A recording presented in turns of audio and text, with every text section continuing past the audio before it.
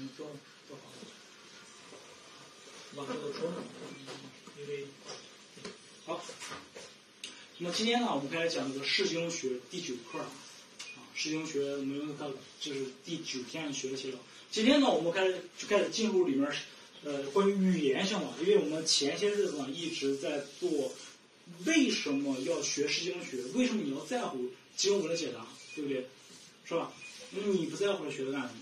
对吧？因为很多人没有天国心，对吧？他没有天国心，所以他也不在乎经文的解答度准确与否。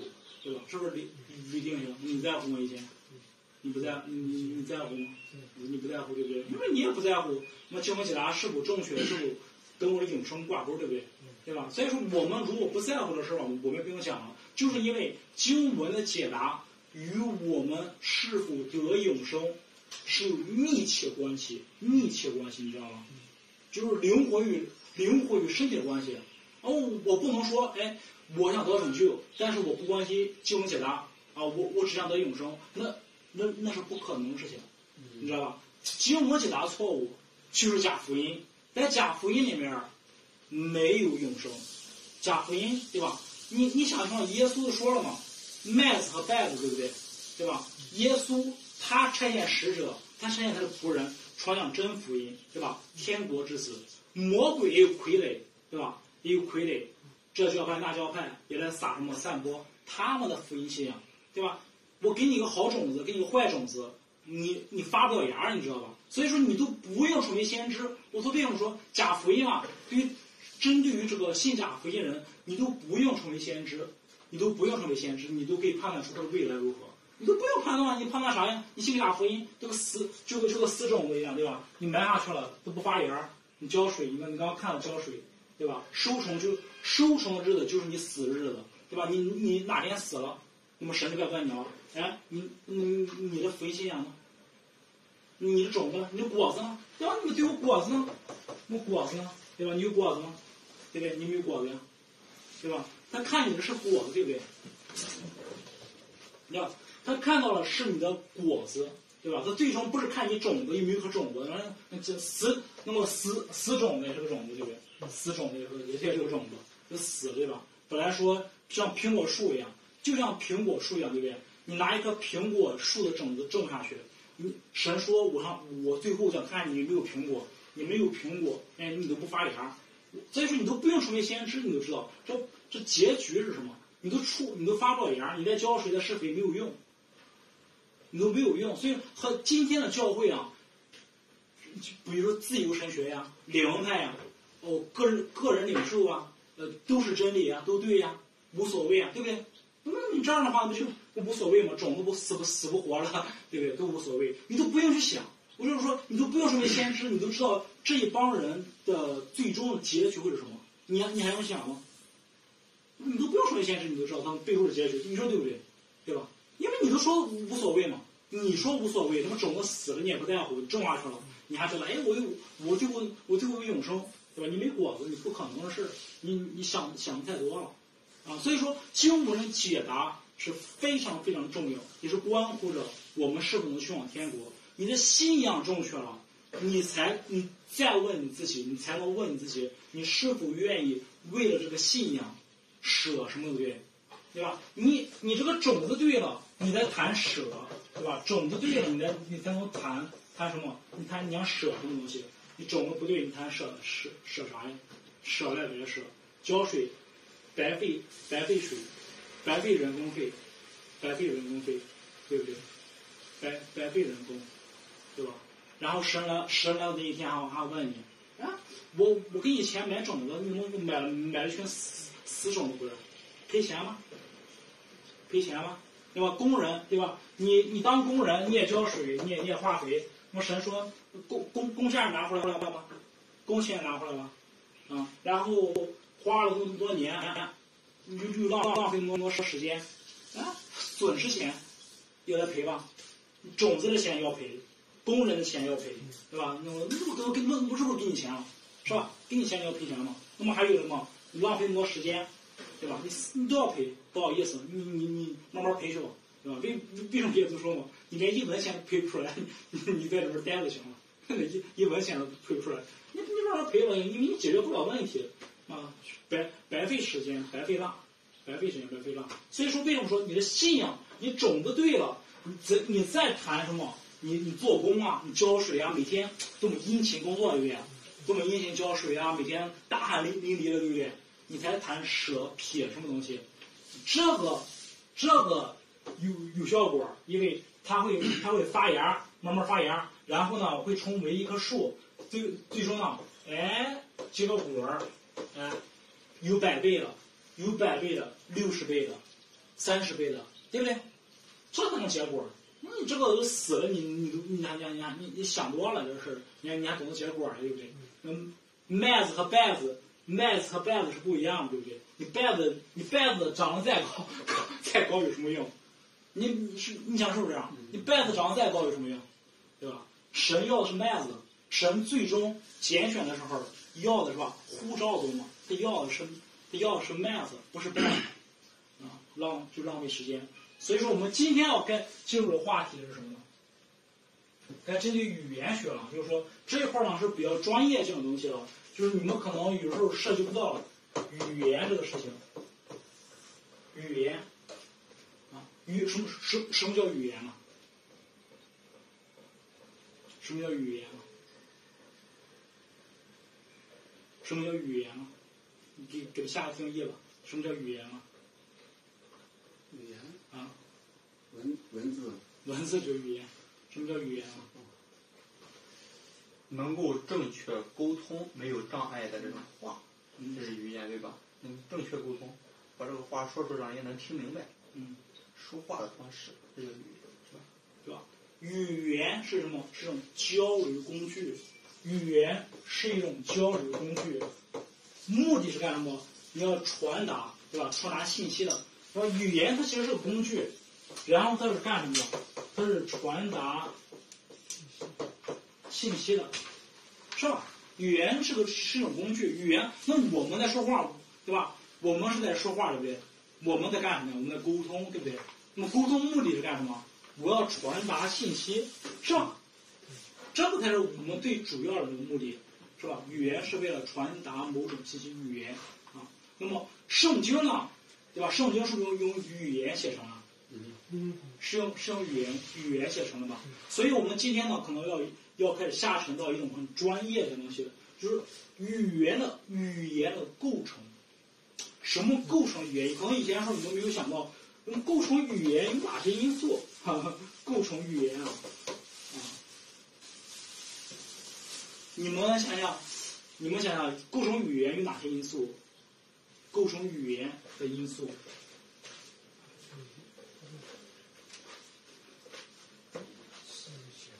交流的对象，环境因素，嗯，跟地方历史背景、文化习俗都是这都是啊个啊啊！范围？对，语语言的构成啊，这个很很大了。我们最简单就是我们今天拿到一个圣经，就和合本，对不对？我们拿着圣经的和合本一样，就是这里面我跟你讲，语言啊，就是说我们今天要下沉到一个很专业的语，语言在这个版本啊，我们只是牵扯到了一个字字字儿字儿，对吧？一个字儿的问题，然后再牵扯到一个语法的问题。所以，为什么今天有几大新闻的时候会出现各种各样的版本？哎，你你你有你的理解，我有我的理解，对不对？为什么？是因为语言不单单是字儿，不单单是一个字儿，不单单是一是一个字，不单单是也是语法。那么字儿和语法，字儿是干什么？因为说话嘛，就是说写的内容，对不对？语法是干什么？编编辑。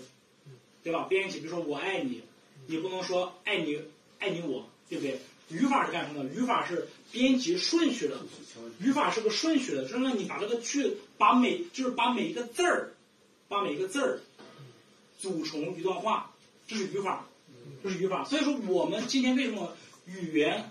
那么我问你个最最大问呃最在家庭里面的矛盾，你觉得你跟你的家的妻子说话，会不会产生矛盾？会不会产生矛盾？会经常产生矛盾，会经就是家庭矛盾啊，我就说个最简单的例子，家庭矛盾都能产生的什么？因为语言，因为你那么为什么对方听不懂你说话呢？那么你也有这个字儿啊，那么你也用你也用你的语言，对不对？你也有你这些字儿，然后编辑到语法，说是为什么他们没法理解？为什么？为什么他们他他没法理解？为什么？同样是语言，为什么没法理解呀、就是没有正确理解对方的意思。啊，这为什么导致什么什么导致的表达清楚。误会？是为什么会误会？误会啥呀？哪里产生误会？因为毕竟说话的人和这个人，他有的时候他表达他猜错了，猜错了。这这他他为什么猜错了呀？瞎扯！我们要把这个语言给搞清楚，它怎么回事儿？这是时间啊，时间时间情景，情景，情景一个环，其实情景是个有的对，它有一个情景啊，它有一个语境，也就是说它有语境了，对吧？它有语言的环境，它有语境，它有语言的环境，可能对方判断你的语境失误，对吧？造成语境，你有有个语言环境嘛，对吧？它不能插随便插一句话，你聊个 你聊个天儿，然后别人插一句话，嗯，聊聊啥呀？有语境还有什么呀？语言环境还有什么呀？还有啥呀？还有时间吧，时间，嗯，那个时间先不说了，那个环境。什么机关家时候还有什么？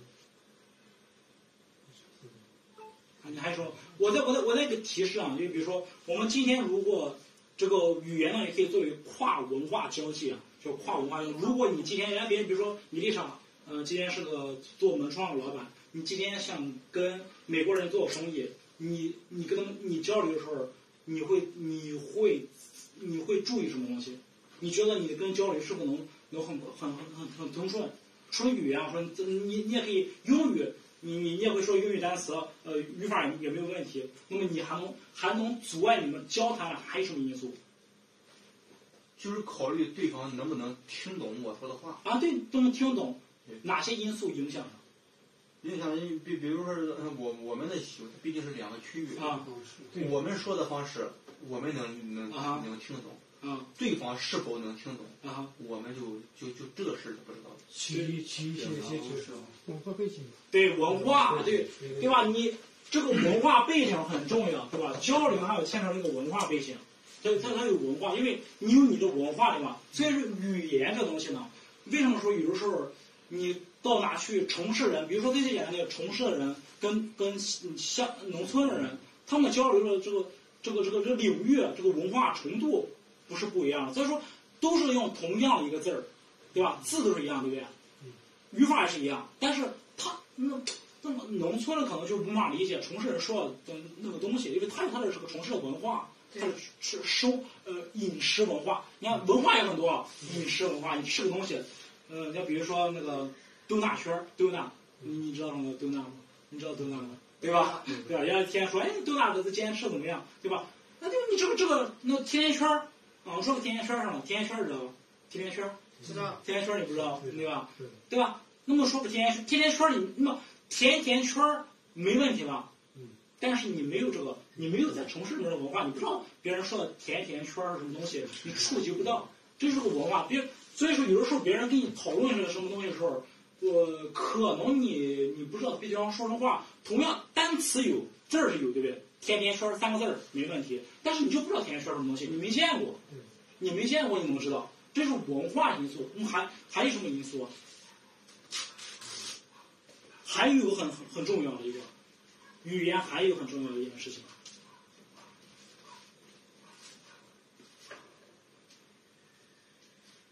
还有一个价值观啊，价值观非常重要。对，价值观包括着思维逻辑啊，价值观包括着你的思维逻辑。你就刚才伊丽莎说的一句很好，就是说用就是用用什么方式，这是这是思维逻辑价值观的问题。你要表达什么？你用什么方式跟人交谈，就是你的一种价值观。你认为什么是正确的，什么是错误的？如果今天伊丽莎今天要跟外国人做生意，你刚懂英语，会单词，还差很远。你还要对他们的文化习俗，对不对？文化习惯，对吧？你还要他了解，对他们的这个呃思维逻辑，你还要还要清楚。还有四旬。所以说，为什么我们今天我们今天解答经文出现了这么多的问题？因为我们想不到一个点，我们只是把经文当做什么字儿和语法，对不对？我们只是把我们很简单的认为什么，就是经文经文句子好像就是一种什么，就是一个单词，就就一个字儿，字儿和这个加上语法，加上语法，这是我们认为的。但其实刚才我们一交流，你会发现什么？还有很多其他因素，对不对？语境、文化背景、你的价值观、你的思维逻辑，这这些我跟你讲，都会成为你看经文的时候产生你的最很大的阻碍。除非你，除非因为这语言嘛，对吧？那么神对我们人类说话，他不也是用语言嘛，对不对？对吧？神对我们说话也是用语言嘛，是吧？我们的目的不是说，哎，李弟兄，你看你的领受是什么？我我我我来的话，我我看你领受的话，我来干什么呀？对吧？我对吧？神说了一句话，然后你说，哎，李弟兄，你的领受是什么？你的意思是什么？我我我问你干什么？是吧？你想想，那么我问小张，小张，姓李的，姓赵的，对吧？我我问他们干什么呀？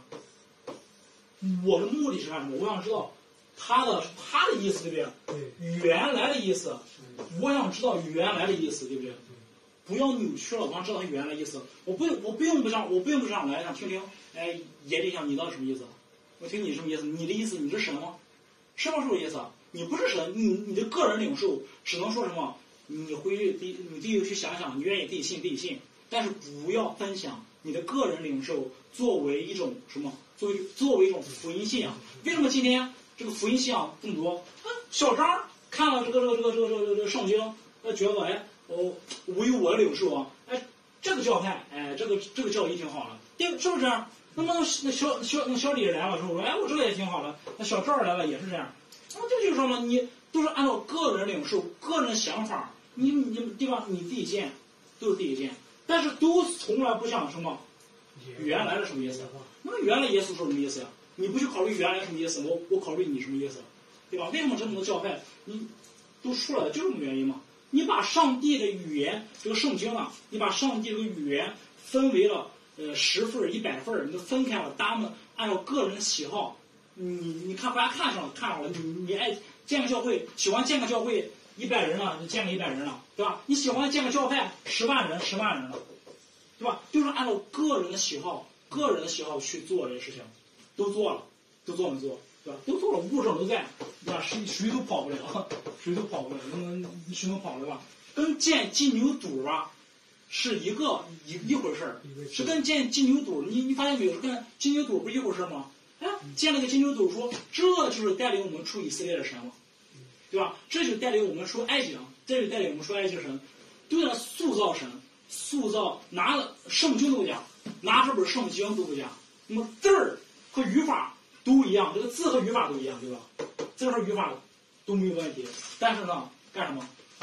回去自己去领受去了，自己去想，哎，这个话是这个意思，那句话那个意思，对不对？百家争鸣，百家争鸣都在进，都在塑造神。其实是这个这个就是塑造神，拿着圣经，这个圣经呢作为什么？变变成了他们的一种工具，对吧？圣经已经不再是为了什么？为了传达上帝的旨意，让让听到人遵行神的旨意，而变成了一种人的工具，变成了一种人要利用工具。他要建立他的教会，他要建立他的教派，他要来。为什么耶稣说：“你们这群人嘛，对吧？对法利赛人和撒该人，你们是荣耀荣耀自己的，那跟神没有关系。那小张也好，小李、小赵也好，对不对？你们都是荣耀荣耀自己的。”跟我跟我什么关系？你也拿独行，耶稣把这个经文抢过来嘛。你们你们以为经里面有永生啊？你们以为这里有永生？你你你自己理解的，你认为的，是吧？你自己里边认为有永生，你自己认为有永生，啊？你对不对？你都是你个人自就就自己理解了。你认为这是永生，对吧？耶稣来了你也不认，对吧？耶稣来了东西你不认，因为你你都你都是自己自己想象，经文解答全靠自己想象。然后去拉拢人，能拉一个信一个算一个。今天今天教会是不是一模一样？对吧？一个一个大妈怎么建教会，对吧？上上上上的路子没分享，大妈感觉到，哎，我我是被神差遣了，被神也成为神家的仆人了，开始建立教会了，对吧？也能也也也能凑齐四五十个人，也能凑齐四五十个人，那凑人数的谁不会的，凑人数简单啊。那为什么我不去凑人数？因为我知道你这个东西，你的胡你乱搞，我我都不用成为先知，我都知道这个带领人的结局如何，你都不用成为先知，你都知道这个人带领人骗了四五十个人的背后结局，妈去了天国直接扔进去，哎，叨叨不用叨叨，那这让人说什么？直接扔进去就行了，连不用连连连跟你叨叨都不用叨叨，还跟你说说什么呀？对不对？是的你根本就什么都不，你啥都不懂，福音信仰都不明白，你一脑子污水，对吧？你你你脑子浆糊，问个什么问题都不懂，你你你来建教会四五十个人，哎，可能后期会越来越大，对不对？人多了嘛，可能四五十人啊，一百人、二百人，哎，反而这这这这个教会好像哎，我神很祝福我，哎，神就要诅咒他，他看不到神的诅咒，对吧？他们因为他凑人数嘛，他是离凑人数而凑人数。是我们的目的是干什么？语言在这里，我们要回到原来的本意上，原来的本意上，对吧？原来的本意呢，我们现在牵扯的这个问题呢，它有几个问题，有价值观的问题，有文化的问题，有语境的问题，对吧？有语境，对吧？它都会影响到我们对于这个经文上的语言上的一种解答，语言上的一种解答。我最简单一个例子啊，就是说，我给你简单一个这个时代文化，行吗？一个时代文化。昨天，昨天伊丽莎给我打电话，其实呢，跟今天的这个主题也很也很有意思。时代文化，什么叫时代文化？为什么我们今天啊？为什么我们今天这个时代，我们用是二十一世纪啊，用是二十一世纪，从一千七百年往往往往后数，直到二十一世纪啊？为什么我们这个时代定义啊？我们是定义什么？有一千五百年左右的空档，这不是空档，而是什么真，这没有历史吗？一千，那么那么从亚伯拉罕，我们说从那个五千年前，我们退回五呃退回六千年前吧，六千年前，一直到一直到这个这个这个这个这个三千年吧，一直到四千三千年这个时间，也也就是公元前公元前四千年，公元前四千年左右，应该是五千年啊，这里有五千五千年。那么怎么这怎么这块时期空档了？这个这个没有历史吗？有历史，对不对？但是为什么不被现在的人认可？你知道吗？嗯为什么不被现在的人认可？他们有没有历史？也有历史，都都有记录。为什么不被现在的人认可？无法理解。无法理解，很好。我们说是神话时代，对吧？我们把这个时代定义为神话时代，对吧？为什么你你你你想想啊，我们对于经文的解答，我们大脑里面，呃，包括我跟你丽莎说，嗯，以前是个神话时代。你看圣经的时候，你想神话时代嘛，神话而已，对吧？我已经指我已我告诉你神话时代的时候，这个文化虽然是个语言语言，是不是一样了？这个圣经没没改变了。但是我在这个，我的我提前，我先给你个意识，提前给你意思啊。我说，哎，这是个文，这是一个神话时代，嗯神话时代，嗯、不是很真。神话时代因为太太远了，离我们，呃，也也也无法考察嘛，对不对？我先给你个这样的个意识，你去读吧。你你读的时候，你就觉得，哎，神话，你就读神话故事嘛，嗯对对吧？你只能读神话故事，摩西把大海劈开，对不对？对摩西把把大海劈开，包括中国以前的蚩尤时代啊。你说你要再往往往前读的话，全全都是中国有神话时代，蚩尤时代嘛，蚩尤包括挪亚方舟前些日子，对吧？坠落天使到地上跟人类发发生关系，都生出各种各样的那种超超自然能力者，对不对？嗯，那个世界是个神话时代，你知道吗？就各是这么神话时代，都是超自然现象，超自然现象巨多。每一个民族，每个民族都拜神，都拜假神，都都在拜，对吧？所以说，我们把摩西，为什么很多人认为，哎，摩西时代神话时代，摩西时代是神话时代？你你想想，你你你骨子里面，你骨子里面就定义，你骨子里面你已经下定义了，这个东西是个神话，是个不真的，你骨子里面都都说不真，你你还你还能你还能去客观解答经文？不可能。今天神学家，今天神学家有几个认为是真实的？心里啊，不是说啊，我这我认为真的，圣经啊，无无谬论全都真的，我我阿门真的。但是从里面，从内骨里面，从心里面，有几个几个真是认为是真了，都学圣经，对吧？表面上啊，我都信仰，都都都信，但实际上呢，他们早早把早把神的这种大能，对吧？神的神性、属性，耶和华圣的什么样神，早已经变成那个神话式样了。他们早已经先入为主了，就。已经先入为主了，还解答什么经文？你看，你看，你后面还说我解答经文，你你都先入为主了，你都触摸不到神，然后你再说你能解答经文，说上这个神学院那个神学院，然后你大脑里边是神话时代，你有想就行了，你你能触摸到吗？触摸不到了。那神，你看以利亚对吧？升天而走了，啊，不可能的事情，对吧？不可能的事情，是吧？那？是也对吧？那么摩西大劈开，不可能，你你自我就你自我干什么？已经已经什么排斥了？你已经否定了，你你你给你为了掩盖你的内心，你跟别人说我都信圣经，但其实你的内心里面都是否定了，你内心里面就是否定了。你解答经文，你不能你连想都不用想，你肯定是个否定状态了。啊，不要高举，不要高举，对不对？他为什么要不用高举？他否定，了肯定不高举，他没有他高他他高举啥呀？对不对？那他都没有高举啥呀？那为什么说摩西时代怎么怎么怎么样？使徒时代怎么样？赶鬼吗？鬼说话，鬼现身，对不对？是是不是这样？那可能他鬼在在鬼现身，使徒那那个是什么时代？使徒时代，我们时代有吗？有没有？没有啊，对不对？我们时代没有啊，那就是什么？你的你你的文化，你的文化已经时代先入文化已经定义了。定义了哪些有，哪些没有。你看圣经，你看了看了也白看，看了你也看不懂，他没法看。你都你内心否认，你看圣经有什么用？你回去看吧，你回去看什么？你你看了看看了也是神话故事，看了你觉得也是看了玩儿，仅此而已，就看看玩儿。然后然后能做什么？哎，我们这个时代要什么？要文明，要时代嘛。我们的文化要文明，赶悔改啊！伊丽莎，你看你会看会悔改。怪罪，国家虔诚，社会我爱你。他他只能剩下什么，对吧？最后你发现他他只能剩下什么？只能剩下这个文明了，成文明人了。不抽烟，别别别公众号抽烟啊，不好啊，对不对？啊，有有犯犯犯错你会不会改？改了会改。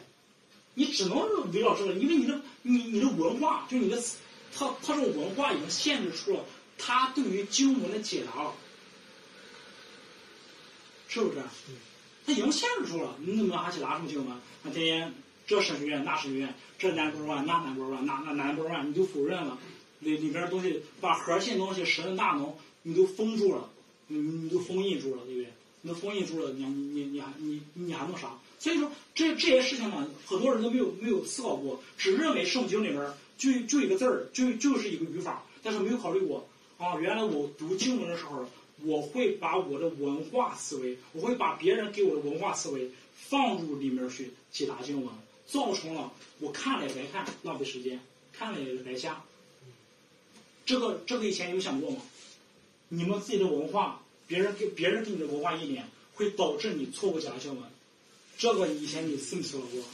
没有没有，这个没有，没有思考过，没有思考过是吧？别别，你以前思考过吗？考虑过？你的就是你读新闻的时候，你的文化都可能对你造成很大的影响。嗯，有一点这种意思。嗯，有一点，但是没有那么深，就是有一点，对吧？这那么这，刚才我只是举举到一个例子，时代文化论的问题。我们对于时代的改变，对我们今天的文明，对于今天的就是理解，已经先入为主，带入了解答经文里面。所以说，解答也是白白解答。为什么？他没有回归到，回归到原来的，他没有回归到原来的语言，原来神说什么话，他已经把这个给否认了，因为文化的原因否认了，所以说他们又又又是造了一个新的神。那么这个神是干什么？有口不能说，有眼不能看，怎么造是吧？嗯，他们弟说了嘛，耶和华神今天已经不说话了，谁说了？谁说？那这帮人说了嘛？谁说了？那就他们说了嘛，他他们说了，那就是就是啊，那么你不说话了，那么那么神他还能跟我们跟我们沟通吗？跟我们交流吗？跟我们互动吗？跟我们同行吗？那不可能了，那就那神都不互动了，那么那大家们那都都是自自己一套，曲解了什么？曲解了原来的本身的意思了。神让你看，是让你信了这整本圣经，是你，对吧？让你好好的、好好的、彻底、彻底才走着信，对不对？发什么事儿，发生什么事儿就什么事儿，而不是说你夹杂你的思想、你的文化，对吧？你你的文化高过于神的文化的。所以说，我们为什么说有人总是说，对吧？高举圣经，对吧？但是他从来没有高举过，他根本就是他他根本就不知道，根本不知道什么叫高举圣经，都不知道定义。他们认为高举圣经好像是把圣经高高举起来，然后宣告，嘴上宣告。我现在高举圣经了啊！你们这些学员都不高举不高举圣经的人，对吧？他就这样，你都不知道什么叫高举圣经，对吧？刚才举个最简单的例子，你把你的文化，对不对？你把你的文化高过于神的文化，你说高举圣经，不可能对吧？你们打脸嘛，就是你根本就你高举你弟的文化，他都他都不知道，他都自己都不知道自己说什么，他都都不知道自己说什么东西。你高，你想高举神的话，你必须高举原文，对不对？对，你想高举神，你必须高高举原来不动的这个语言，到底什么意思，对吧？原文原来的本身的意思，你才能说我可以高举圣经。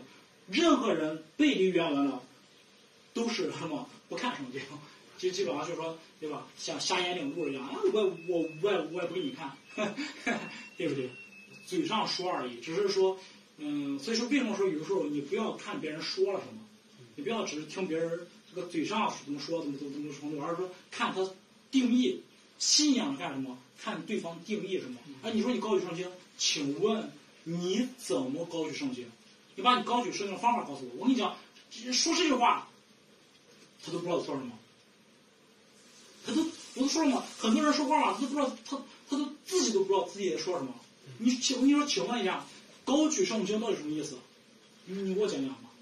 他不知道，他不知道，他根本就不知道什么叫高举圣经，他他在嘴上在那说。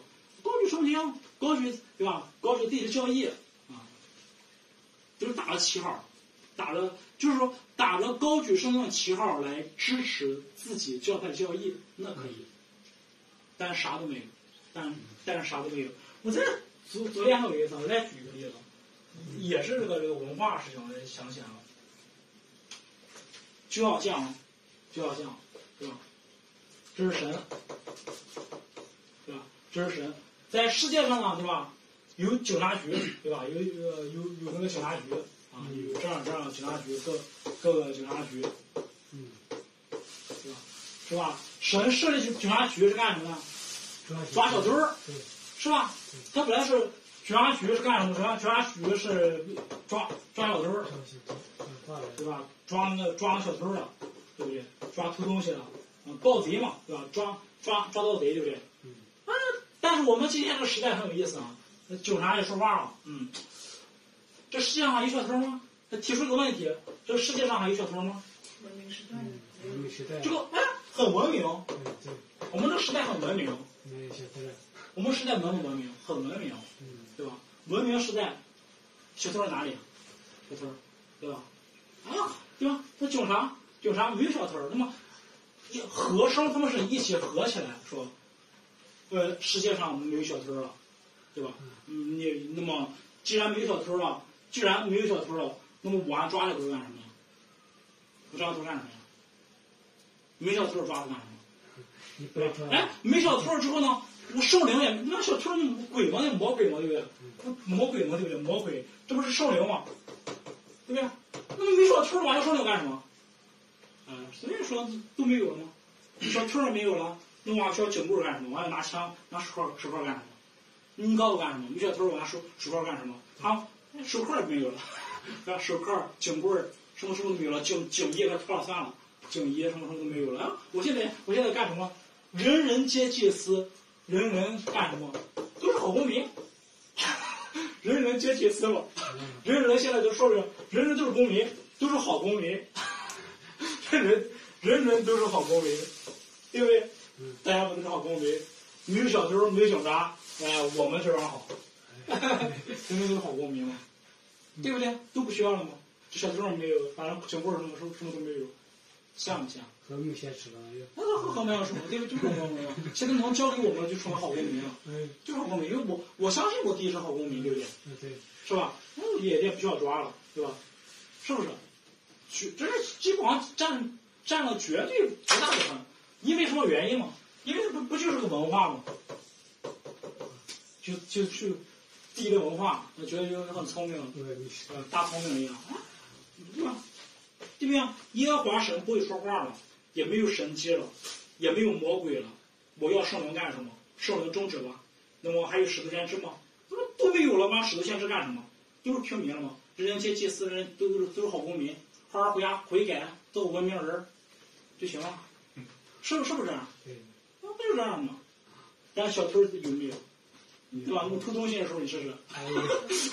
小偷上你家偷个东西，你试下去，是不是？对那小偷上你家偷个东西，完了说，哎，你说没有了，你不好意思，你说这偷没有，这就没有了，这这还在，魔鬼一直在看我，哎，这这这是你脑袋，脑袋可能就出现问题了。呃，正好正好你就说不在了嘛，哎，正好我还喜欢你们公布什么，哎，没有了，然后他干什么？哎，他他他明目张胆去偷，哎，明目张胆上你家去偷，你还不知道怎么回事儿。没有，是吧？你说你说没有了吗？我说明目张胆上家偷东西，呃，偷，反正说能偷，对把把这个人儿，呃，不仅让偷，不仅让我偷，强盗说，哎，也挺好了，让揍，让揍他，对不对？这还是什么？这还是说神神神的子民，神的家，耶和华军队呢？那那是军队，对不对？没有了，没有敌人了，没有敌人了，没有敌人了，这个被就就就等着被揍的份儿了，找找不着问题，他被他很多很有意思啊，他们家里啊各种各样问题啊，这个问题那个问题好像解解决不了，但他们不知道什么问题引起来了，嗯，对因为你说小偷没有，小偷人在，对不对？这就是最主要问题。对，对吧？圣灵也没有了，也不工作了，那是那魔鬼也不工作了，那好像都不工作了，那么对吧？但其实都不知道，都在。这个他们他们不知道，都在。跟你跟时不时代今天一模一样，都在，没有改变过。耶和华神自古红酒 没有改变过，从来没有改变过，神是没改变过。改变是什么？改变是你个人想法，你的文化，你的你你你的文化改变了，你把你把警觉改变了，你把这个警觉也也也给装修了，给改变了，把神也改变了，你都改变了，对吧？像不像？嗯，撒都该教派，撒都该嘛，灵异啊，撒都该，只是灵异教派，这教派那教派，其实其实都是撒都该，其实都是撒都该，啥都没有了，只是空空，只能空吹，自己是个文明人，哎，我真文明，你文不文明啊？什么不吹这个文明啊？盗贼来了，照偷，照强盗去了，照揍，嗯，两不误啊，两不误。所以说他们他们就在自我自我欺骗上了。还还呃还有最后还他还有一个，是吧？像李文泰那样的，也 哎什么？我承认这世界上有小偷，他承不承认？也去了，也也去了。嗯，刚去的时候，哎，他把小偷吓了吓，哎呦，穿穿警服来了。小偷眨眼一看，啥都没有，手铐也没有，手铐也没有，棍子也没有。小偷上去了，把他们俩给揍了。奉耶稣的名字，对吧？奉耶稣的名字，对不对？抓小偷儿，但一但小偷人一看，啊，这没这人啊，这就是啊 魔，就魔鬼撒旦嘛。一查，那谁呀、耶稣我认识，保罗我认识，都你们两个干什么了？你们两个在干什么了？反而把他们两个揍一顿，上他们身上了。你说你说尴不尴尬？警察穿着警察呃穿着警衣，戴着警帽，没有手铐也没有棍子，就去了，嗯，被被被被揍回来了。啊，他他也不知道怎么回事儿，对吧？这就是灵派这个现象，去天去给人赶鬼，然后然后还被鬼附，被人揍，也很搞笑啊，很搞笑。这个这个这个这个这个就很形象啊，是不是？很很很形象啊。所以说，这这是我们因为我们的文化的原因，导致什么？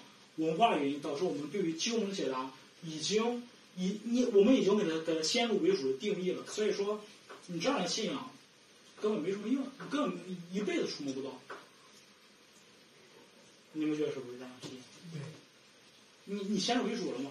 你解答性文用先入为主，不是说你字儿不字儿的问题，也不是你语法不语不语法的问题，是你你你已经有你个人的认为这个时代应该什么样，那个时代什么样，对吧？都是你来定义这个时代怎么样，那么你来定义，神就不用定义，嗯，对吧？那你定义行了，是吧？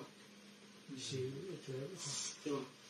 这个事情很多人他就不去不去这个这个思考啊。这个好，这是文化，然后我们再讲这个价值观的问题。价值观就是思维逻辑啊，你的价值观，价值观对你这个经文解答，价值观啊，就是你的思维逻辑，思维逻辑啊，价值观就是你的思维逻辑，你怎么想这事儿的啊？为什么说你的价值观、你的思维逻辑也会对于经文产生巨大的影响的？我就给你这样，我给你这样讲，比如说，你知道西方人跟中国人这个思维逻辑有什么不一样吗？说话是吧？说话的方式有什么有什么不一样的？知道？你说外国人就西方人、美国人，说话他说话跟你比较清楚，不绕弯子，啊，对比较直接，不含蓄，嗯，比较清楚的表达自己的意思。对，西方人说话，他非常注重什么？客观性。他给你描述一件事的时候，他给你描述客观的事情，嗯逻辑性。西方人说话是逻辑性、客观性、具体性，对吧？看你说话有没有这个逻辑，对不对？嗯但是中国人说话是什么？属于和睦性。我们中国人生活谈和，和是比较多的，和和睦嘛，要和。我今天跟你说话好不好？我看你说话有没有和。嗯和这东西，家和万事兴，是吧？你说话，我们不在乎。你看中国人假新闻的时候呢，会出现很大的问题，是吗？我们不在乎，先入为主啊，先入为主，我们不在乎你说这个事儿正确的错误，但是我要我要先先记住什么呀？我看你说完这话之后，是否扰乱了我们两个的和睦？嗯，你如果扰乱我们两个和睦，你就是假的；不合的，你就是假。这是我们的逻辑，因为因为你不能对吧？这个价值观和逻辑的上的问题，对吧？你比如说呢，犹太人也好，说话的时候，我们讲的客观事实，我们追求，今天我们坐下来追求什么？什么是正确，什么是错误，对不对？你你对还是我对？你说个事儿，你给我证明出来，对不对？这是外国人的，包括犹太人，你正确还是我正确？你怎么证明这事儿？我们中国人判断对正确与错误是看你说完这句话之后跟我产不产生矛盾。跟我产生矛盾，你就假的假老实，传播假福音。我们以这样的思维逻辑判断真假，你看没有？你的价值观，所以说刚才说是文化对吧？影响我们价值观。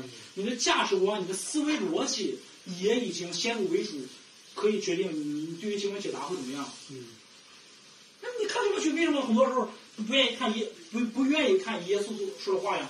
为什么他说喜欢看福音、看看恩典呢？为什么说搞传销在中国搞传销最好？他他这个这个这个环境很很合适。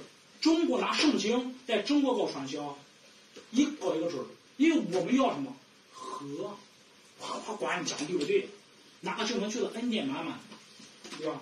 来把钱拿出来，耶和华神打开天窗给你供过的钱，你开不开心？你也开心啊！哎，那么咱两个影影影不影响咱俩关系？不影响啊，自然更加和睦了。我我看经文的时候，如果我以中国这种思维逻辑去看经文的话，我全部都看好了。我来跟你讲，我也信圣经啊，那我信圣经，我给你讲的好的，和睦嘛，越和越好，越和越好。你管你如果把耶稣拿出说话拿出来，啊，你的仇敌是给家人，爱神要爱超爱父母，假老师，异端邪教赶走。你的价值观，你把你的价值观你高举的，你高高举过神了，你的价值观你成为你成为神了，你的价值观就成为神了，对吧？那那啥会有意思吧？那么你那么这个事儿怎么搞啊？那么你认为你价值观正确吗？对吧？因为就我们其他经文说把我们思维逻辑，我们为什么看不到耶稣所说的话？因为我们根本不想去看，因为我们的心，我们的思维逻辑是错误的，我们的价值观思维逻辑错误，你根本就看不到。因为你，因为你打开圣经，想找到什么恩典满满、祝福满满、钱多多、财源广进、财神爷，对不对？这不，这这也跟我们文化很很关，这跟我们的文化也太有关系了，对吧？我们看没有？你看，又又透露说了，中国的文化解答经文的时候，不过就是财神爷、关公、财源广进、生意兴隆。我信神是干什么了？我的思维逻辑已经过去了。我信神是为了发大财啊！我信神就家庭过好日子了。你给我讲天国干什么？出其不到。为什么出其不到？因为你的文化是吧？你的文化和价值观已经已经成为你的定局，已经你已经你已经下定义了，你已经先入为主了。你要的神，你要创造，你要打造这个这个这个神呢，你要打造这个神呢，什么样子？已经好，已其实已经在里面了，对吧？已经已经在了，已经存在了。你想要神，已经存在。你不是说我想看呃耶和华，你看比如说我想看耶和华神什么样的神，跟我先入为我先入为主，我的价值观已经过去了，我价值观已经建起来了，我的文化，我的价值观，我的我的价值观，我的文化。已经作为这个这个这个这个信仰的根基点了，那那么那么还传什么？这个圣经，这个圣经无非是个工具嘛，圣经无非最终成为这个工具，成为被利用的工具，成为一个什么样的工具？搞传销的工具，它最终会成为一种传销工具，你觉得是不是？因为我知道你的，因为你的根基能力了嘛，你的喜好，比如说挖挖一地上的喜好我摸透了，我我我就拿这门句子只套你，行了吗？我我摸清了你什么？我摸清了你的价值观了，我摸清你的文化了，然后我要塑造一个关公，哎，我我我写名叫耶稣，你也喜欢，拿你你拿走给钱，那些搞传销的，他也看上这样的。对吧？是不是这个套路？文化价值观已经立在这里了，所以说这个问题已经形成形成了什么？你的跟这个信仰根基链，你不把这个这个谦卑的，你不把这个谦卑的拿走的话，你不可能了。你要触及到什么，都全都是你自己的文化，全都是你个人的文化思维，全都是你个人的逻辑思维去去套去思考这个神是个什么样的神，你在想吗？你空想，你最后变成空想，空想神，空想塑造神，塑造金牛犊，啊也也塑造了金牛犊，也是在造，最终，对吧？造了会造了会很厉害。你想，我说刚刚说对不对？就刚刚其他教的问题，为什么他们我们对于中国教会判断你真假，就看你说这个话是否和睦。如果你把这个东西这两个讲完之后呢，这两个是和和睦睦的，你是真的。但是你讲这个东西嘛，搞搞矛盾了，你就假的。他为什么这样思维方式？你想想行吗？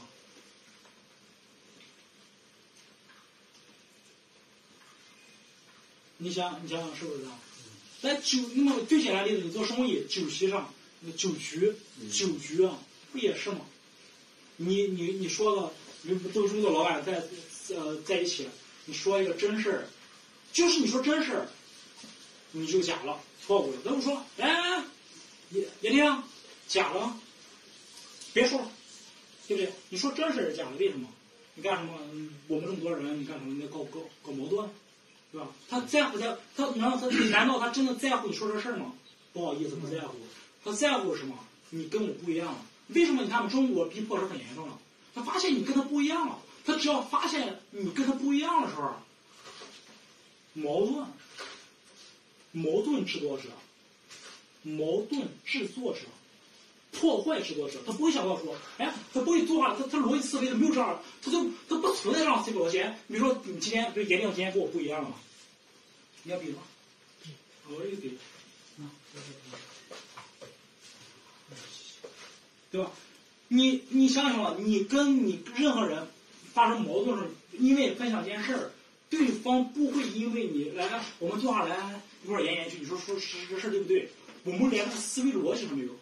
为什么？我再点出一件事情，为什么我们说我们是龙的国家，也很有意思，龙的文化、龙的逻辑，这个一般人吧，最近也是透露出来了，只有龙干的事能干的事，只有龙干的事。龙的文化嘛，龙的文化是干什么？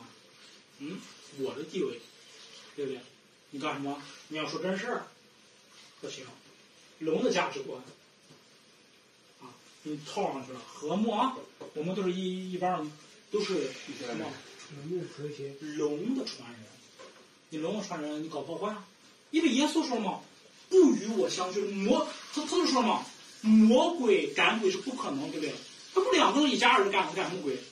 你在龙的国家都都是被称为龙的子民，龙龙子孙，你搞你搞你搞矛盾，他也不愿意，很有意思的事情。龙这个龙也不愿意，你搞矛盾，龙的子民也他也不愿意搞矛盾，所以他必须用什么？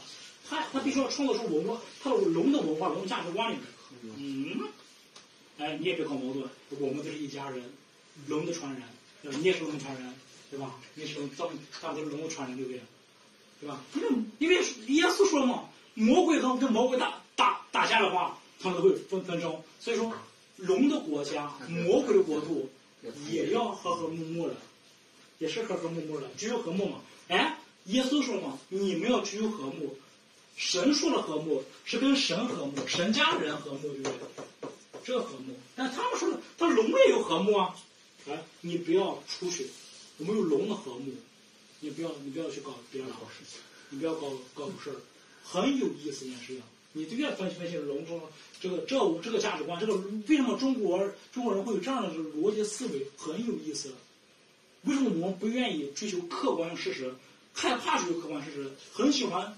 和和，不要说正确错误，和睦，很有意思这个事情，很有意思。我们没有思维方式，全世界有几个国家现在？没有几个这样的吗？就跟人交流做事吧，有这样的思维逻辑方式很少，很少。谈事不谈客观性事实，喜欢谈什么？喜欢谈和睦。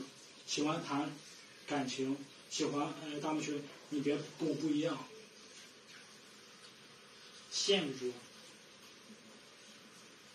没有没有没有几个国家像像我们这样，所以说我们遭受逼迫，包括你的家人不理解，他为什么不理解你？他不会，比比如说伊丽莎明白真理了，啊，他不会去想，大脑里面没有东西，他不会去想你为什么这样。你你你你你得到什么东西了？你给我分享分享，然后我我来研究研究，我来深入探究一下，对吧？就像研究一样，对不对？你你给你的这个岳母啊，跟那些人发发发过水是吧？他们说你你现在跟随异端邪教，对不对？啊，可以啊，你回去想对吧？你会查呀，对不对？正常思维啊，人正常思维什么？行，你说我是假的，我会查一查，对不对？我们没有这个思维啊，我们连这个逻辑思维都没有。他们第一反应是什么？你搞破坏。你搞破坏和睦，你就是假的。你别说，你就异端邪教。他并没有这样思维方式，他并没有这样思维方式，他连想都不敢想。为什么？很奇怪，这个这个现象都很奇怪。这个现象都很奇怪，你不觉得很奇怪吗？你跟人沟通好像还很难。对。这个现象很奇怪，好像一个什么很大的传销组织。但是这个以国家形式开始，很奇怪，人民不能正常思考，没有有国家像这样的，我好奇怪的事情，人失去了思考能力，很奇怪的事情。龙的国家好像很太太多奇怪了，太多奇怪过程，人的思维方式奇怪，文化奇怪。都很奇怪，文化追求和睦圆滑，研究所的文化，天天天天研，天天研究人，不干不干实事，天天研研究人。太聪明了，老奸巨猾。天天上朝，你你看有没有？呃，我跟你讲，当官儿的，你比如说你做生意也好，都到到顶到顶峰的时候，都都不干事了，都要搞搞搞人看了吗？皇帝在这里，天天怎么想，怎么搞人看了？很有意思，天天搞，天天天天天搞人看啊，对吧？你搞搞不搞事儿了，天天搞人，哼，都是人，因为什么说人做不好还做事儿，对吧？你人都没搞搞明白，对吧？这个那个那个，对不对？对吧？你天天像像事业单位一样，你去的时候不不得事儿，天天这党派那那那党派天天拉拉你拉你过去站队，你站你站你站哪个岗，对不对？所以说，你们不做事儿的，人全全全都是人看，很有意思。没有其他国家像我们这样的，真有意思。不干实事儿，天天搞人，天天搞人心，天天钻研人人人心怎么想，天天研研究人，研究人的国家真没几个。你要孙子兵法，你告诉我哪个国家有孙子兵法？就说实话嘛，现在孙子兵法谁有孙子兵法？他美人计，对吧？这个计那那那计，不就是研？那么这些所有的孙子兵法，所有的计，这不是去研究人嘛？对不对？全是研究人的，很有意思。这个这我们思维逻辑，你看吧，这这传承下来这这五千五千年的思维逻辑，这五千年的思维逻辑很有意思，但这个国家呢，讲究着和睦，从龙从这个皇帝开始就就开始讲究和睦，管管制和和睦睦的都有和睦。但是你如果你想要这样的和睦的话，那纯除你可以，只要你愿意在传销组织里面，你那这样，那你传销组织很有和睦，你搞传销一样是不给你和睦，对不对？所以说，有的时候你要判断别人跟你追求和睦是真和睦呢，还是表面上的和睦，对不对？你搞传销上的和睦，他他他其实他其实就是因为你搞传销，我搞传销，所以才跟你和睦，是不是这样？你搞传销，我搞传销才跟你和睦，你不搞传销，他谁跟你和睦？对吧？你的家人，你爸爸妈妈本来一一会儿一块儿搞传销，带一块儿搞传销了，对吧？他他发现你不搞传销了，他跟你和睦，对吧？你爸爸妈妈搞传销，你不搞传销了，他不跟你和睦，对吧？那么包括你朋友，你这么都都搞传销了，那么你突然不搞不搞传销了，你突然想你突然想不做龙的子民了，你跟搞啥和睦啊？是不是？你怎么你不做那个那个龙子民了吗？嗯，那你搞搞搞啥和睦？所以说你和睦跟和睦，你要想想他们沟怎么样，想要他们为什么想要这为什么这样？他们为他他们他们为什么这样？他们为你好吗？他们不是说为你好与不好，只是他就发现你怎么不跟龙走了？以前咱们都跟龙走的挺好的嘛，对吧？好好相处，家和万事兴，好好做做生意，对不对？好好去工作就行了，在龙的国家里面好好生存，对吧？都成为龙龙子民多好，对吧？你非要你非要跑出去，你跑哪去？他发现你跑了，你知道吗？嗯，发现你不一样了，你天天，对吧？你发现他发现你跟这个龙，然后他一对的，嗯，他看到你这么点啊，所以他他才会愤怒，他没有理由的愤怒，没有理由的要想灭了你，嗯没有理由的想灭了你，因为他的逻辑里面也不想问问你到底看过什么东西了，你到底去深入研究研究，是不是这种现象？我觉得是这样，因为它不正常，你知道吧？你说我们传福音，你看正常人，我说我们今天来聊聊天儿，对不对？我们简坐下来，我们就是坐下来聊聊，聊圣经。你说我错也好，你给我指正上，对不对？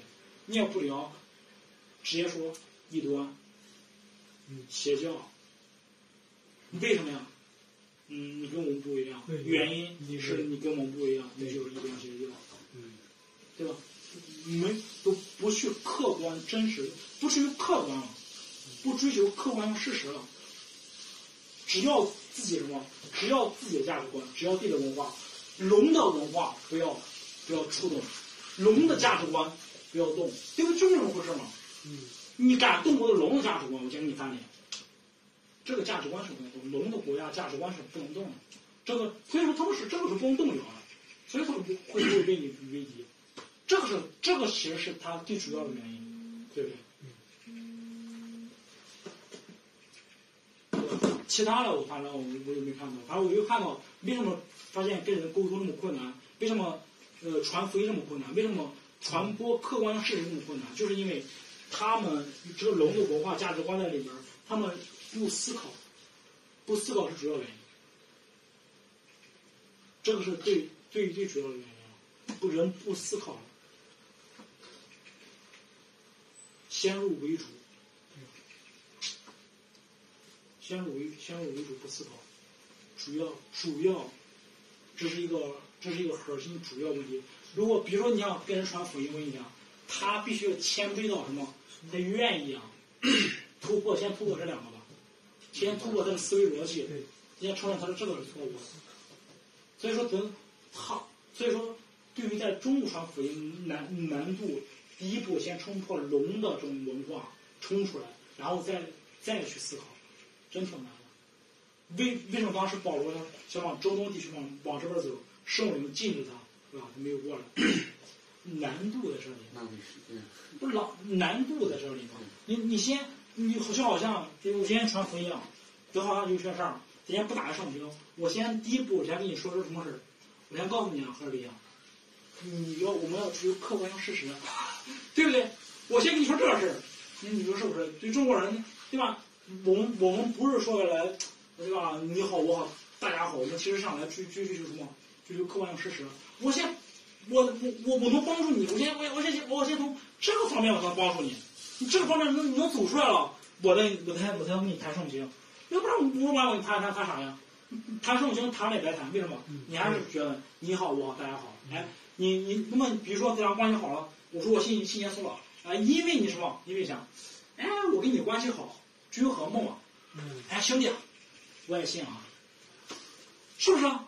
他给你给了面子嘛，说兄弟，我也信了，因为你是我知心的朋友对，你说什么我信什么，你说什么，但他信了没有？没有，真正他他真正是没有信，他他只是说为了应付嘛，就像家人一样，那都是说为了应付嘛，我信了，也就就就这玩意儿搞的嘛。为什么说西方人呢没有这样？西方人就是什么是就是，不是就不是，我信就信，不信就不信。你给我客观分析，你犹太人对不对？你给我讲事，你给我讲通了，我才我才信。你把这事情能说服我，你要说服我才信，对不对？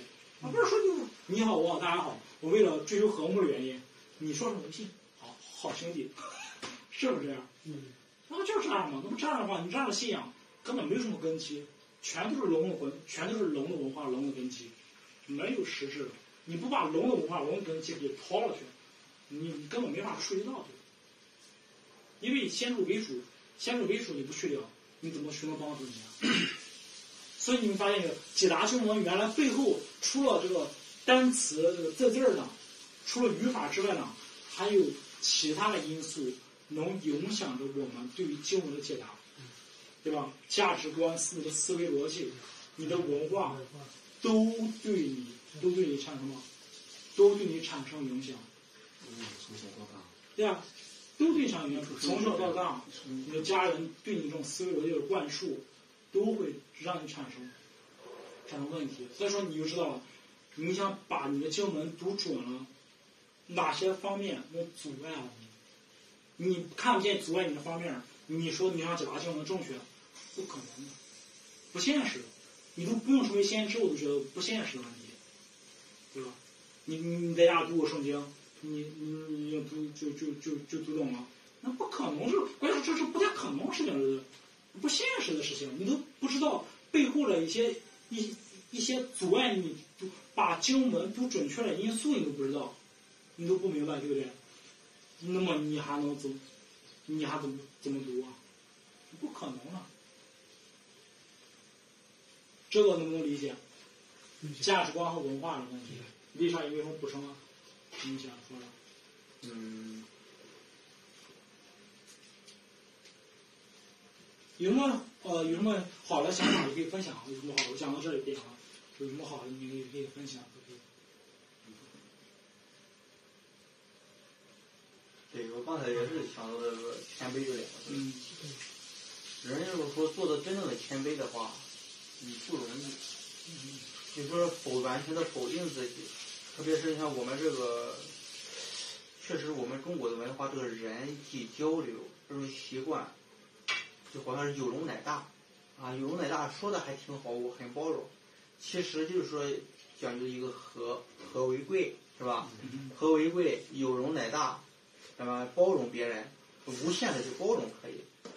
但是如果是说你说真事儿的话，嗯，这为什么叫有个字叫和里边还有个同流合污这个这个词儿啊？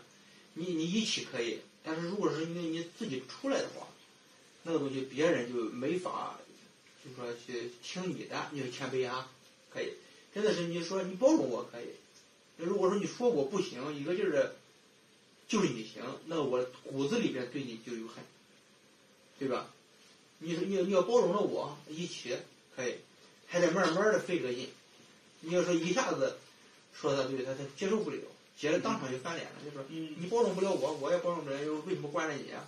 那有这种这种。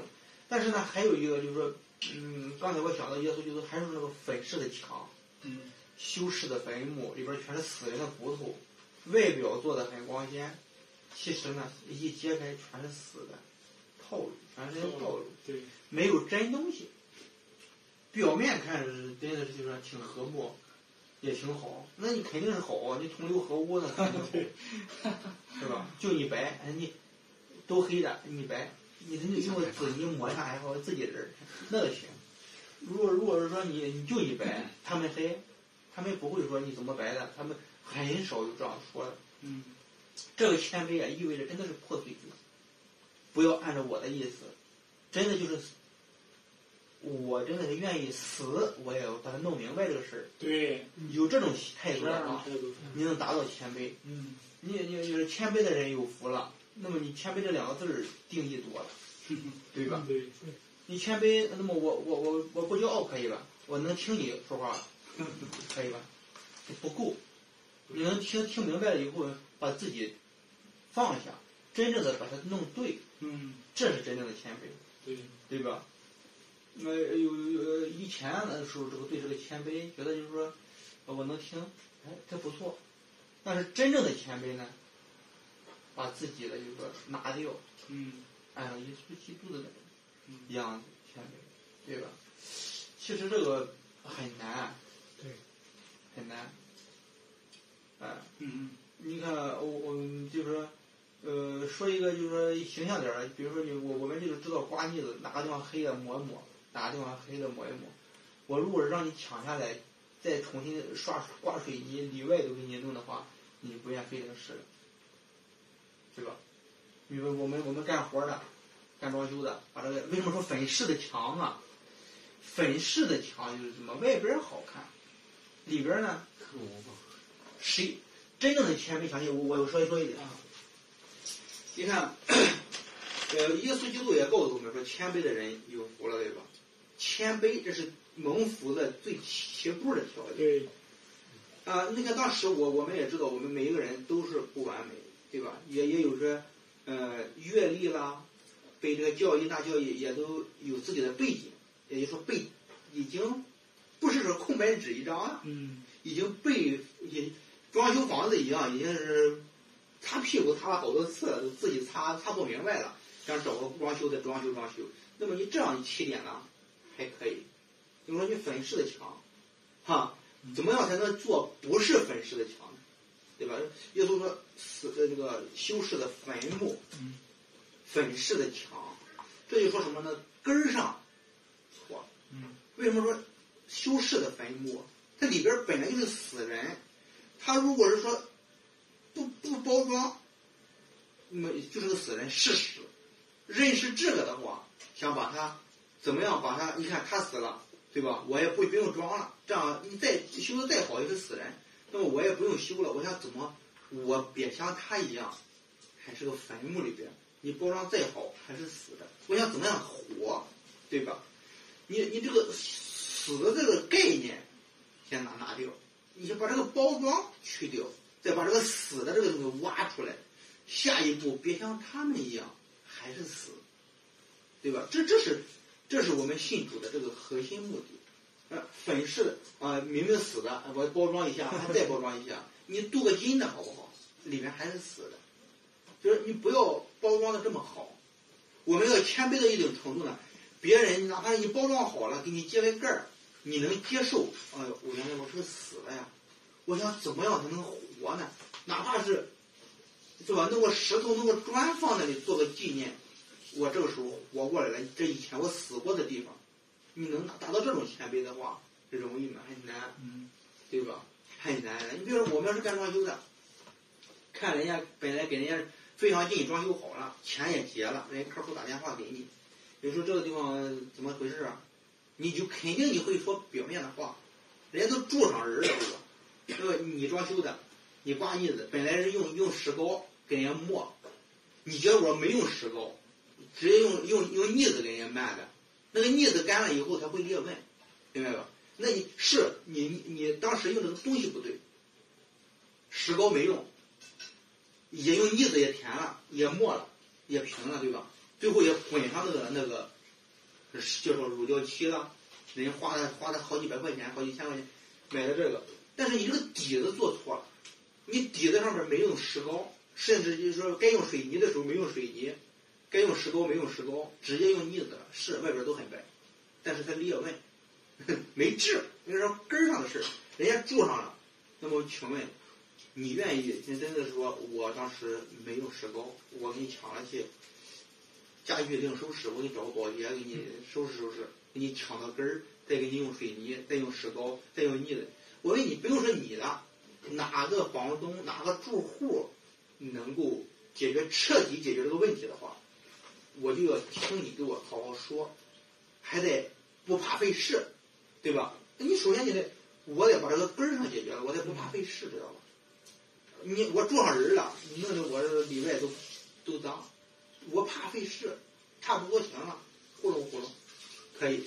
你要跟我说再重新另用，再重新，我哪有时间伺候你啊？他谦卑不了，他也不会听你叨叨的，对吧？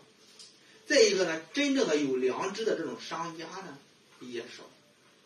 呃，你不要紧，你费事，你出去租房子，我出房租，啊，我给你找保洁，给你刮到底，再用水泥、石膏、镊子、涂料给你弄上。修饰的坟墓，粉饰的墙，那么你具备谦卑的条件的话，你会接受这个，你接受这个条件就行。那么我是一个做生意的，你当我自己良还得自己良心发现，因为我专业的，我良心发现了以后，我说你这个事不对，当时做的吧，出了问题了是我的责任，把家具收拾收拾，地上铺上膜，该夸夸该抢抢，抢到石硬茬上。我再给你水泥弄上一遍，石膏弄上两遍，再给你打砂纸，再给你刮腻子，再给你打砂纸，再给你铺涂料，我还得付这个代价，这是谦卑，彻底从根上不是粉饰的墙了，这是流流就是流光流滑放光的墙，正儿八经的墙这是。为什么粉饰粉饰这两个字就包装了，你知道吗？面子事儿，面子事，你好我好和为贵。和和睦睦，合作愉快。你让我不愉快，我也会让你不愉快。对吧？你为什么让我不愉快？我我为了让你愉快，哎，差不多行了，就没事儿，不要紧，是吧？你打麻将，呃，给我刮刮腻子，我给你刷涂料，那都是面子事好干。这种活还不好干？拿个鬼子咕噜咕噜就走了，那还不好干吗？这种面子事都会干，但是这个不具备谦卑的条件，也不能解决实事。像耶稣基督说呢。粉饰的墙，我想怎么才能做不是粉饰的墙？那么你你的墙，我给你刷刷大白还不好啊？啊，粉饰墙还有毛病，对吧？这就说语境的问题。粉饰的墙，我要单独看这的话有毛病吗？粉饰比不粉饰的墙好。但是耶稣说是这个事儿嘛，就说我这个墙是你刷，但是它裂纹、开裂、脱皮，你再粉饰有啥用啊？粉饰它没有正儿八经的砖，没有正儿八经的水泥，没有正正儿八经的石膏，你刮一个大白，刮一个大白，一片片的掉，这不是很尴尬的事儿？这种事儿你解决不了，你这个谦卑从哪来？你就这个事儿你都接受不了的话，你也谦卑不了，对吧？我们日常生活当中谁愿意麻烦？谁愿意付代价？谁愿意赔钱？谁愿意就你这样的话就很很有意思。修饰的坟墓。里边的东西都不对，还一层一层的贴那个包装纸，你你你，你这个面膜贴的再好，你你你也成不了李冰冰，对吧？你面膜做的再好，一层一层的，说实话，有的时候开玩笑讲，你你今天出来门没挂印子，没没没那个包装一下。当然，这这是我们说人的话，对吧？耶稣基督说，为什么叫修士的坟墓？这个事儿吧，严重了。这个坟墓你再修吧，那是个死人的骨头，这是真的。这个为什么死了就死了呗？为什么还修饰呢？还去包装呢？对吧？你你这个事就就闹大了，因为啥？为啥呢？功夫没少费，人还活不了，还是个死的。呃，本来臭了，臭了慢慢变成个骨头，死人的骨头，你看修的还还津津有味儿，啥都没有。不但自己这样做，让别人也这么。国家修修坟墓？你你想怎么得这个永生？那么你跟随主有意意思对吧？你想怎么修饰这个坟墓的话，那没啥意思。修不修的也是那么回事是吧？有啥意有啥区别吗？你说你修不修，是一个金的、砖的、水泥的、木头的，也就是说有啥区别呢？活不了，反正是，是吧？所以说这个人嘛，有的时候想象耶稣说的那个话。根儿上的事不解决，光解决表面的事，啊，所以说有的时候你那个语境的问题，嗯，你要是理解不了这个的话，你猜你想哪去猜去？粉上粉饰的墙，你们是粉饰的墙，粉饰的墙这是个好事儿，那是谁家的墙不刷刷呀？我在想，那好几年没刷的，烟烟熏的黢黑黢黑的。那么你粉饰的墙，比不粉饰是会好吧？说我粉饰的墙，哎，谢谢主，感谢主，呃，终于表扬我一下。你你会怎么理解呢？你这个修饰的反应部，粉饰的墙就没有实质的东西，外表光鲜。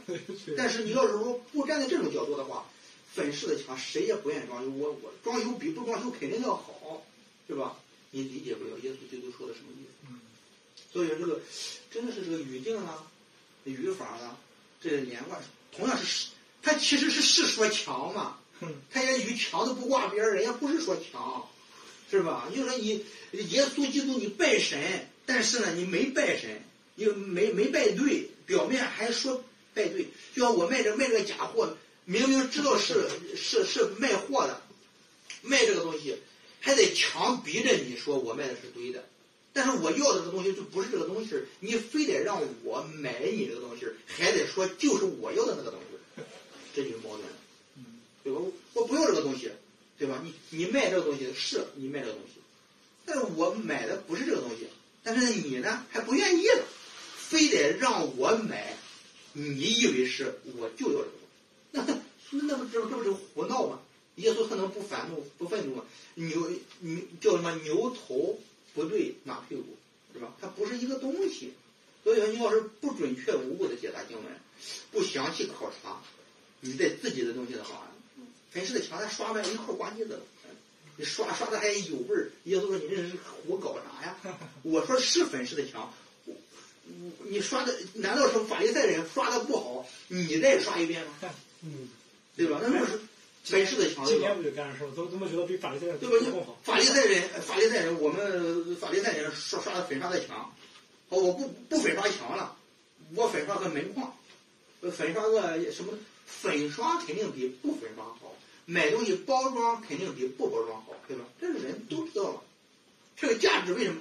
同样是一个东西，我为什么它能值点钱呢？买个月饼吧，月饼拿拿着走了，省个月饼盒，一个盒二三十，你买个月饼里边有几个月饼了，对吧？那你吃一个月饼七八块，买个盒三四十，你意味着少吃了两个月饼，你啥东西都都没看准那个里边那个东西，光看准这个包装了，这就是你买货容易上当的地方，是吧？哎，就可能这中中国这个这个文化也很有智慧，怎么说呢？都是两面性的，它有智慧的一面，神呢高过，但是你要按照他的思路去走的话，那你就陷在套里边了。其实它都有一个，为什么说是当我们主报大爱藏在患难里，当我们遇见难事的时候，哎，会思想这以外的事情的话，你会发现这个地方关了一扇门儿，那个地方神给你开了一扇窗，这是真的。当你不遇见绝境的话，你越越塑造越好，越塑造越好的话，那你这个真的就是修饰的强，修饰的好好的，你也不会想，哎，我修饰这有啥用啊？对吧？外边的事是什么事儿，他不会想这些事儿，他真的是不放不下自己，放不下自己，人性就这样，谁愿意舍呀，都愿意得，是吧？那都愿意好，没有愿意坏的，但是主的智慧就高过人的智慧。让人跳出这种唯独的思想，仰望神给你而来的这种啊！你反真的是耶稣基督他说的话都是反过来的，嗯，是吧？反过来跟你说话，明明是人愿意好，那么你请问就是说，你们追求神得祝福对吧？你信这信那，我们信了有有什么用啊？有什么用？对吧？人家拜家里供个东西。为什么被拜财神了？你就愿意生意兴隆、财源广进，到时候保佑我发个财。哦，你的也是神，不要紧。你这个神能给你带来啥？那么你正常人的思维的话，我我这个信这个神，他这个起点很关键的，对吧？你定义啊，我为为不管什么样的代价，我要得永生，得到这个救恩，哎，那你定义对了。嗯。但是如果是说我我也像嗯成功神学那样。我要活出荣耀神，人家开这个车，我的我信的是真神，我要开更好的车。人，那你成功，我我拿着这个来卡神的话，那你就当一个财神来拜拜就得了，对吧？人就这种观念，他就扭不过来，啊，是人如果是信人家别人打击你的话，然后你信耶稣信的这个样子，啊，看不起你，那你怎么说呢？没法说，对吧？因为你起点都模糊的，嗯，你你以为我信神，你都会自己都疑惑了，信神越他妈越信越倒霉，越信越穷啊，你自己就会迷糊了。但是我们说，不管付什么样代价，我们也要得到这个永生，对吧？啊，变卖财主来了，有钱问问主怎么样？你变卖一切所有的，然后还要跟随我。这是个明着，这是个这是个这就指了个明路。但是人有几个愿意听这种话的，嗯，对吧？我本来有，你让我跟上你，但是还在没有。哼你给我的呢，永生还不知道死的还不知道怎么回事儿。那我这个事儿，对吧？矛盾对，这是就是这很有意思，这是信心的考验，就是这真是矛矛盾真的矛盾。啊！那死了怎么回事？谁知道啊？是不是？嗯，那你你知道吗？愿不愿意嘛？不愿意。但是耶稣基督又是信实的，为什么说这个凭据啊？我原来我不知道这个凭据是多么重要啊！人神是看不见，对吧？对，神是个灵，我们不能看见。但是魔鬼呢，也是个邪灵，也看不见。魔鬼最愿意听你的听的听的一句话。现在的人真的是这样。刚才你说那个魔鬼小偷不不在，魔鬼就愿意听这句话，我不在。小偷偷你家东西了，哎呀，嗯，买少了，这是闹的，买少了继续买，下次多买点儿，对不起了，不好意思了，还一个劲儿道歉，认罪悔改。我为什么这样？我说没没让小偷偷够，我说为什么还攒的还不够？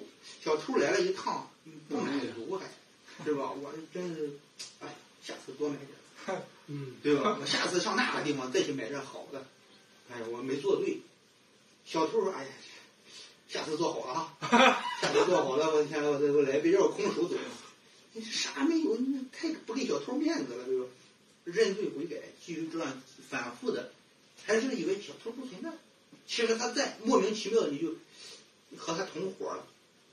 小偷都不认识，自己人，自己人。哎，不好意思啊，我说主啊，我得罪了你，不好意思。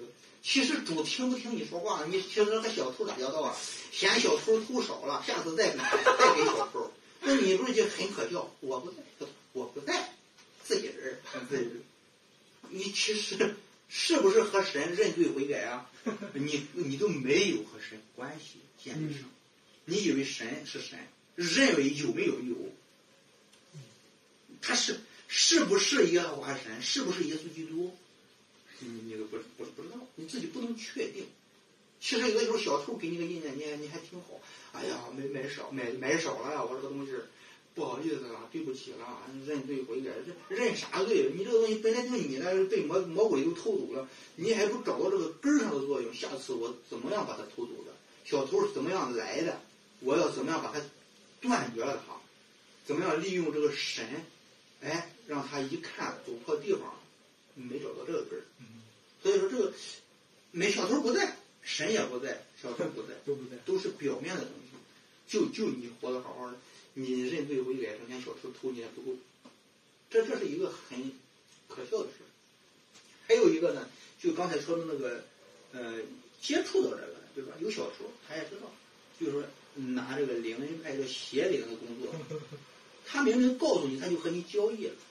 咱自己人啊，下次那什么东西，我给你个教教你怎么偷哈，下次怎么样怎么样，拿来分个分个点儿。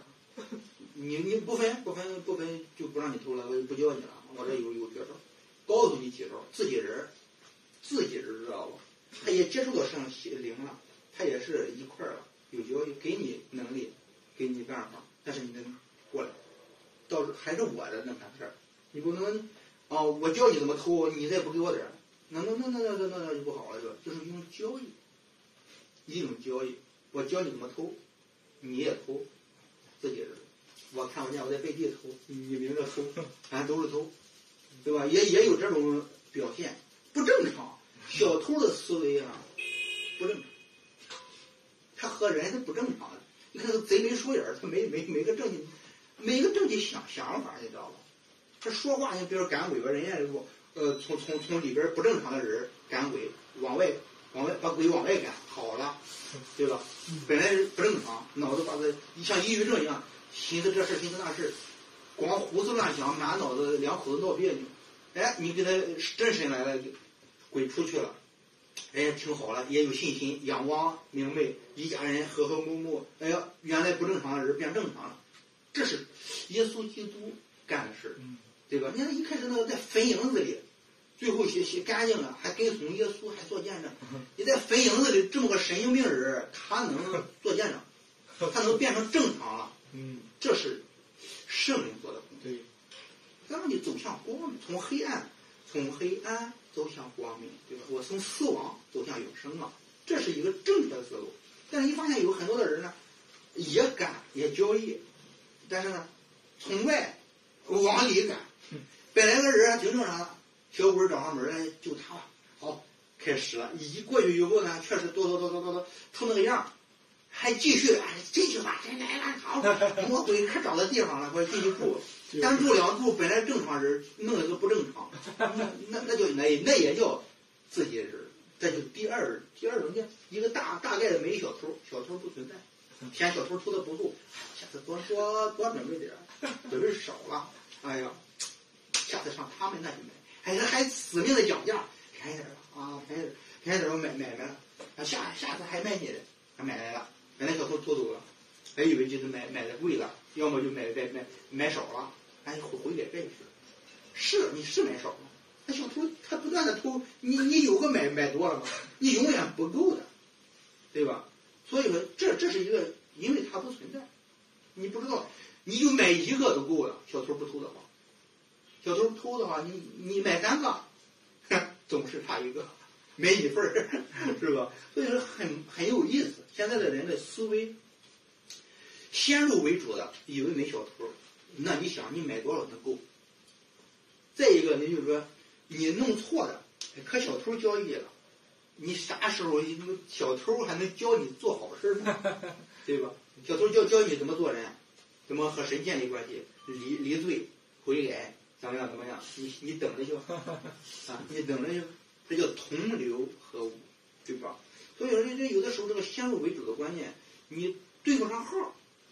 你没有这个分辨的能力的话，你闹笑话，嗯，很容易闹笑话，对吧？所以说，这个准确无误的读圣经，准确无误的理解圣灵的启示，和真的是和他挂上钩的话，给你指个明路。你比如说，小偷在啊，下次别从这个路走了，把这个窗放个防盗网，哎，下次别说买少了，是小偷偷走了，你看他偷走了吧？拿着就走了吧，抓抓他要回来，嗯，要回来不用买了，省钱了，对吧？你能找到这个根儿上，那么那么你这个是亡羊补牢嘛？你得补牢，你别光说哎羊少了，羊少，那个狼天天吃肉，你想你能不少吗？是吧？你你把这个堵上以后，你再说，再找毛病，你们你找不到根儿上，光光光弄些表面的事儿。你那个刮腻子刮，它能不掉吗？你刮的再干净，它也也掉，一片片掉，倒塌的更大了。本来掉一块儿，你刮个腻子刮上连一片了，一掉一整张，哒哒掉下来了。那我说不尴尬吗？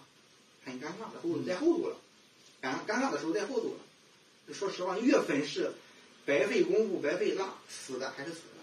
很真的是你镀上金皮儿，活不了。很有意思，嗯，这就是人。谦卑这两个字儿不容易，你得会放下，打碎自己。真是有时候以前啊，我我不明白这个事儿，背起自己的十字架跟从主是怎么回事？要否定自己的这些以先入为主的这些东西。谦卑的学习别人，而不是说不是说是去嗯给你洗脑一样，把你里边的东西给你洗干净了，我再给你植入新的程序。不是这个意思，知道吗？这个对的就对的，错的就是错的。耶稣基督说是，你就说是，你多说就是出于的恶者。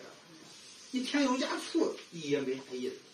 你添油加醋和那个粉饰的坟墓，你你也就说不让魔鬼粉饰了，你变成替魔鬼粉饰了，那也没啥区别，对吧？你要变成根儿上，从心里开始。人的身体是神的殿。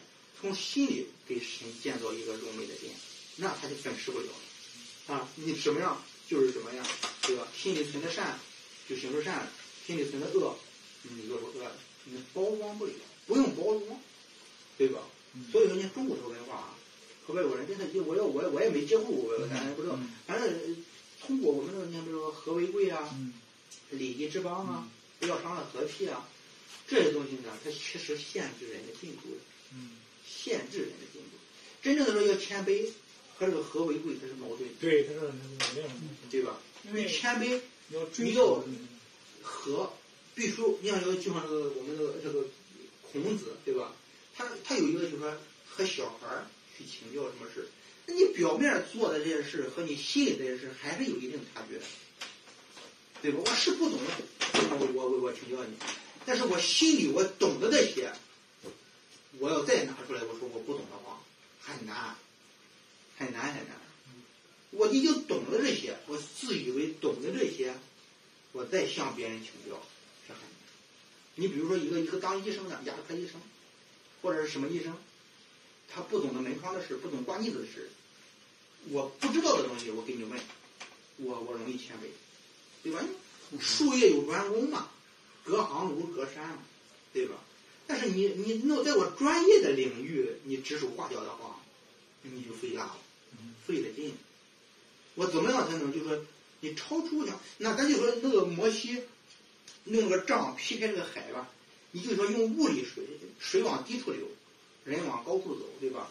那么你水水还能往上走啊，还能立起来像墙一样如垒。那么你你解释用物理解释吧，你在物理领域你解释而已。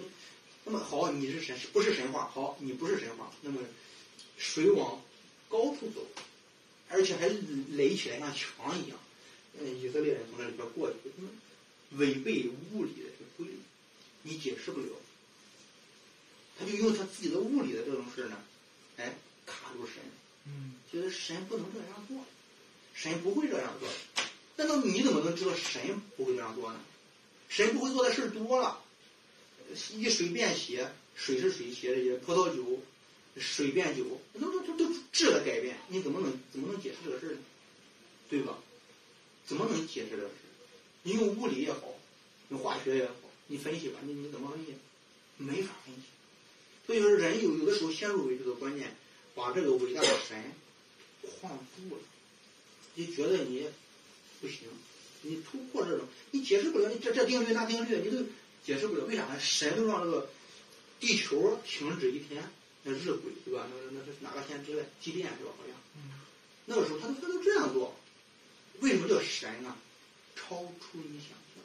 假如你能想象得了，能定型的话，就和刷墙一样，粉饰的墙，修饰的坟墓，把神给修饰好了，让他按照你的方法好了，那你也就死人的骨头也就定了。所以说，有的时候想想，这个信仰啊，不是那么简单。嗯，因为我们的神太奇妙了，你是因为以为自己到什么时候，还是到见了主的面的时候问他又好，怪不得在美诗歌里边说，什么时候都不能定义神是什么样的属性。我们对神的认识呢有限，但是他有他启示的规律，这是无限的。对，啊，好，就是先先说，感谢李少的分享。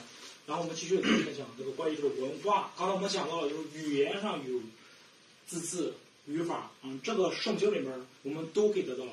但价值观，就刚才我们讲的这个价值观、文化、你的思维逻辑、语境这些东西，是你是你根基的。你你想做，你想谦卑，你想谦卑，那首先你就要你就要拿走你背后这些东西，你背后的东西对吧？因为它它它不正它不正常。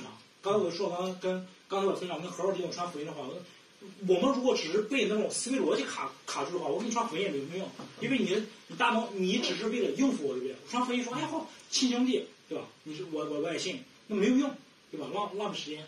所以说，他需要谦卑到什么地步，是吗？你说这个东西是不是真的？我来分析分析，对不对？对吧？我我也我我让只有客观用事实，对不对？所以说，所以说，对于我们在于这个龙的国家传福音，先突破这一个。才可能再再再走下一步，才可能才可能，要不然的话，呃，他不思考的话，他他只能说明搞传销了。你搞太搞，对不对？就像唐唐小华一样，是吧？迷信嘛，我这么大大迷信就是什么？哦，我信你的信，我信你的神就行了。呃，该干嘛忙忙忙忙别，我我都信你了啊。我说严定我我我全信啊，我全信。那有什么呀？嗯，大就是这个典型的大迷信啊，典典典型有没有？还挺多的。中国有很多这样的人。哎，你不要告诉我们分辨啊！我说严博士，你别你别你你别告诉我们分辨啊！呃，你告诉我谁谁谁真的谁假就行了，是不是？嗯，是不是？嗯咱俩因为咱俩关系好，对不对？你是说行了，孩儿是不是坏了？你说是坏了，那那那理定说好了，你告诉我行吗，你告诉我谁谁好谁坏，啊，明白吧？我我是只我只是问你告诉我，我我不关心，你我关心吗？我不关心，我只是你告诉我这个，我信，因为我跟你关系好，我信任你，以和为贵，我跟哎，我因为信任你，你说的话呢，我跟你拉近关系了，对不对？嗯，哎，挺好。这这是这是我的思维方式吧？不是我的思维方式，我对吧？他是坏人吗？他真的是坏人吗？不知道。所以说我们传福音，这个为什么说在教会里面，你看没有，都就都是会拉帮结派，一拉他他是一个帮呢，对吧？那一为什么这一群人啊，我们的一帮呢？你你跟谁一帮呢？啊，不去想，不你弄弄弄这个这个这个这里面干干就干什么呀？都不知道干什么事，没有几个没有几个知道这一帮聚集在一起到底要干什么事儿的，不知道。但是因为比如说我跟严立新关系好，对吧？那我跟叶丽莎关系也好，叶丽莎跟李青关系好，李青跟何二李青也好。哎，因为你的关系，我们把我们这几个人凑凑起来了。我们是因为什么什么凑而凑起来了？是因为因为有关系。嗯，但为为为什么聚聚集凑一块儿了？谁都不知道，谁都不知道干什么事儿，谁都不知道能干什么事儿，就是因为什么？你比如说，那另外一个人说赫赫利用不好，赫赫利用说，你看他说我不好，李定你你看这事怎么办？别人说，哎哎，李长，你看这事怎么办？别人就说，看这事怎么办？我说，哎，李定看这怎么办？哎，我们又凑一块儿了，打吧，就打呗，是是么回事他被欺负了，我找他，他找他，他找我，我找你吗？那我我们有一帮了，为为什么揍对方了？不知道，就是因为他们俩有矛盾，嗯对不对？那么这这这这中国这就是龙关这是干的事儿吗？没有，就是聚集吧，不知道为什么，这干什么一起干什么事儿吧，其实下面也不知道，就是因为什么原因嘛，关系嘛。你你比如说哈尔滨啊，跟跟跟那吵弄就矛盾闹矛盾了，给爹给李打电话，李静不来，你想想，你想想这哈尔滨我怎么想？对吧？你就去了，你你在后台别别别别就别就别找我了，呃对，不对？你别找我了，对不对？对，是不是？那关系在这里，那么这对不对？所以说你，如果我们都是以这种这种人情世故啊、人情世故来处理、来看待神的话语、来跟神建立关系的话，全都是阻碍。嗯，人情世故的东西是，你想为什么耶保罗说句话呢？是吧？我现在是为了得人心啊，完得神心啊，对不对？我我天天为了人情世故，我为了人情世故的话，我什么都不干净。我我说这话怕得罪他，不怕得罪他，得罪他。我说我我这样的话，我我什么都不不能干，因为我说话怕得罪人的话，那那你还你别千万不要做神的仆人，也不要做见证人，因为见证人干什么？得罪人。啊，就是得罪人的工作。说不要见做见证人，就是得罪人的工作。那么你又不想得罪人，那么你还你还别做，这是这是真实的。所以这种保罗说，我不是得人心的嘛？他，你看我好像我我我我我讲到是为了你们讲道而已，不是的，我是为神干这活的。我客观说他神旨意，你能听就听，不能听就算了。你今天今天你你迫害我，或者说你打我，无所谓，对吧？我但是我在我在神面前，我在神他他很注重在于什么？我在神面前交账，对吧？不在你面前交账，嗯对是吧？我跟你关系好了，意味着我跟神的关系就坏了。对，所以我宁可，嗯，不好意思，我跟你关系坏了，我要让神开心，嗯，对吧？这才叫什么？真正的认识神，敬畏神嘛。敬畏耶和华是智慧的开端，一定要神为先嘛。我不能得罪我的神，所以说关系关系往下排，关系从此都往下排。你管你爸爸妈妈，管你朋亲戚朋友，往往往往后排。嗯，我不敢跟跟神这个这个这个为敌啊。刚才我们讲的是，然后呢，我再画一个图，你有你有看过？这个就是比较实战了，就是嗯，关于这个这个复活的问题。撒都该，对吧？它是有寓意的，很有意思。撒都该这个教派吧，是太有意思了，就是这个教派建立，这个很有意思。他不相信有复活，对不对？很有意思，不不相信有天使，不相信有复活。但是呢，他们这个教派呢，还很虔诚，拜耶和华神。这个是很有很有意思的事儿，很有意思，就是相信摩西五行，啊、历史，啊、也这个摩就是神创造历史都是真实的，但是呢，没有复活，没有天使，没有神迹，没有神大能，这个这个这个是没有的。然后也在上面建立了教条，好好好好做文明人啊，对吧？这个这个教义啊，这个摩西律法呀、怎么怎么怎么警署啊，怎么做啊，好好就是神。对吧？嗯，粉饰的，坟墓的下面，没有复，他不他都说了没有复活吗？嘿，这教派的名字也很有意思，没有复活了撒都该，是吧？没有复活了撒都该很有意思，教它的核心教义里面没有复活，没有复活了撒都该，上面的教条很好，你天也穿了，跟法利赛人一块儿也穿了那白什么了，上摩西律法，你也拜神，哎，你也特别爱拜神，小姑娘，对吧？每天天天天去找人拉人，教导每教导每个人，很有意思这个事情。没有复活的撒鲁该，他妈神都不工作。那么今天他这个这个预表项目，今天正好那绝大部分教教派没有圣灵了，对吧？嗯，这知识理论派，各个教派很有意思，搞的也也没有这个，很有意思。他们两个，他们两个几乎可以划等号，几乎就说他们的根基点，您发现没有，一模一样，没有他那那么他跟撒鲁该有什么区别？他没什么区别和区别，没有圣灵了。那么今天各个教派嘛，那没那没有圣灵，反正我我我不相信圣灵了，没有圣灵嘛。他说我没有不不工作了嘛，也不工作了，圣灵也不工作了，呃，这个魔鬼也不工作了，水都不都停业了。一模一样，很有意思。这个寓意，这个这个寓意很有意思。这个寓意，然后呢，重复重复一件事，重复一件，这两个东西，你你你是咱上面东西啊，都是爱神，上面就该做什么做什么，该叫叫别人干什么干什么。但下面东西啊，他们两个极为相似，都是否认神大能了，都是否认神的神性，都是否认了，很有意思。修修饰坟墓，坟墓的下面，死人为他为他为什么说让让人死人的骨头，对吧？他没有复活的，他能活吗？是吧？萨萨鲁该也几可能几几几十万信徒，哼，萨鲁该跟法跟法利赛这个干了吗？也很也也也很巨大了，没有复活的萨鲁该，嗯，修饰坟墓，呵呵，你有没有意思？这事，这事儿我觉得。说教义跟教义没没核心上没有什么改变，上面都说他自己那一套，下面已经定型了。你所以谦卑，撒鲁该要谦卑下来，他他要承认什么？他要承认有复活的事，对吧？人家复活真的存在吗？他要是完全，他撒鲁该要悔改，他要谦卑到什么程度？他把这个根儿给掀了。是，把根儿给掀了，难度很大难，这个这这这难度。为什么法利赛人像尼格底姆啊还好，对不对？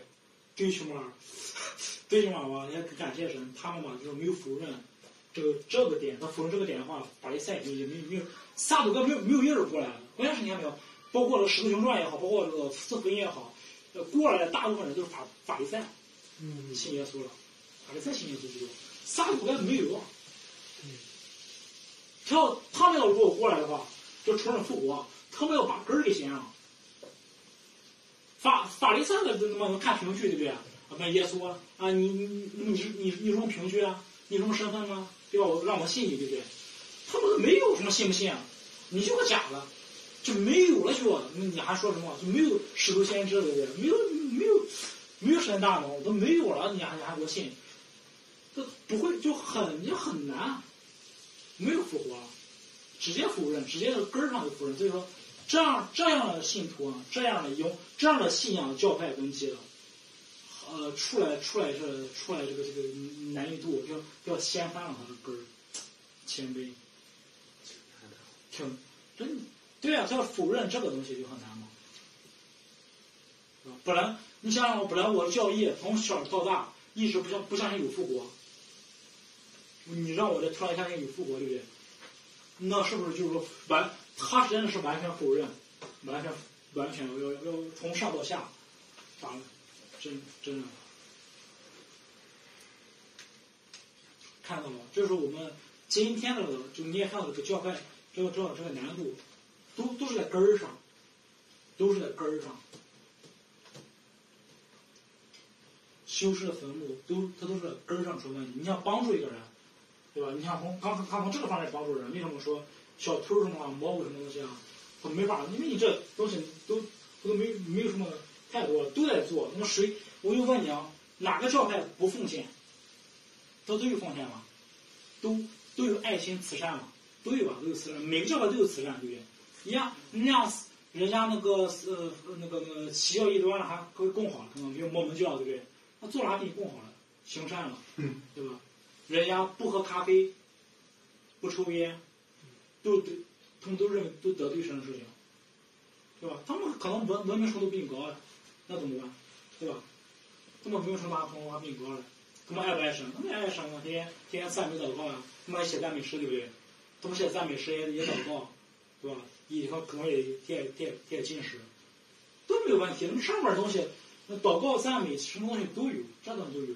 但这个东西它不一定，它它这个东西是核心东西，核的东西，核心的，就像手机一样，对吧？就像这个手机一样，我这外壳儿哎都都都挺好看的外壳儿，但里面儿这个这个这个这个这个这个像素呢，一百万像素了，一百万像素的这个像视视频看着都模糊，对不对？啊，你外面儿那你再好看，你行不行？明天我那我我要画新壳儿啊，也很有意思。那那就那我画新壳儿，那壳儿的你我或者你的壳儿今今年坏了嘛，对吧？这是不是？你壳儿可以换，但里面东西能换吗？不一样道理吗？你你好，我再买个金金金金的金壳儿放上去，那里面东西都这手机都没改变，对不对？它还是那手机啊，是不是？那么今天好像比如说我们买一个老人机，对不对？你把老人机，呃，贴个筋膜，贴个筋膜上有什么用？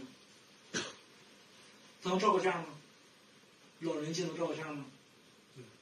你打个电话，对吧？听音乐了，我想听音乐，听不了音乐，那核心东西没有，对不对？哎对，然后，然后他就告诉你说啊，今天不需要听音乐了，来，一人买一个老老老老人机，不用没有不用听音乐了，嗯对吧？也别也也别聊，也别也别聊微信了，也也也也没有微信也可聊了，对不对？哎但是呢，他就这样说，老人机很好，然后呢，哎，你觉得不好吧？你你再花个一万块钱，我就给我贴个筋膜，对吧？贴个贴个膜，弄镀镀一层金在上面。是不是我是不是这个意思啊？如果跟给个年轻人，比如说就跟何尔一样，给个年那个那个何二一样，你会不会到一家手机店买买一个老人机，然后再花一万块钱贴个筋膜，你愿不愿意？好啊，你给给别人扬奖呀！你看这个膜好，金的。别人说加个微信吗？没有，加不了微信。加不了微信，你这尴尬劲儿，啊，你你还年你还年轻小伙子，是不是？对。这所以说外表我们都很喜欢，呃，我们很喜欢搞外表东西，不喜欢不喜欢搞实质。为什么？实质东西真的是又颠覆你，又要颠覆你的这个三观嘛？就是要它是要颠覆你三观的问题，你的人生观、价值观，它它要颠覆你三观了，因为你的三观已经建立起来了嘛，他先把你的三观给你掀了，三观嘛，对不对？三观，还有还有颠覆你的文化，这个东西挺难的，对吧？神话时代，以前摩西时代，以前这个摩西时代都是神话时代，呃，要要颠覆你说，哎，不好意思啊，不是神话时代，是真实的，又要颠覆你，这个是最难的，难是难在这里，难是难在这个核心的。地方，难，这个是最难的，你核的。东西对吧？外表的。东西，比如说伊丽莎今天穿这个衣服，明天穿，哎，有人伊丽莎。明天上来来的。话，穿穿啥衣服来啊？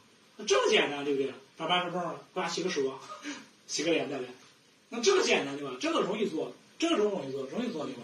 你外表东西，比如说下次一上，别下次别空手来啊，你下次带个葡萄来，对吧？简不简单？哎，挺好，带个带葡萄也行，是吧？但是我说伊丽莎来，把你的这个你的文化，你你的逻辑思维，嗯，不要，嗯，对吧？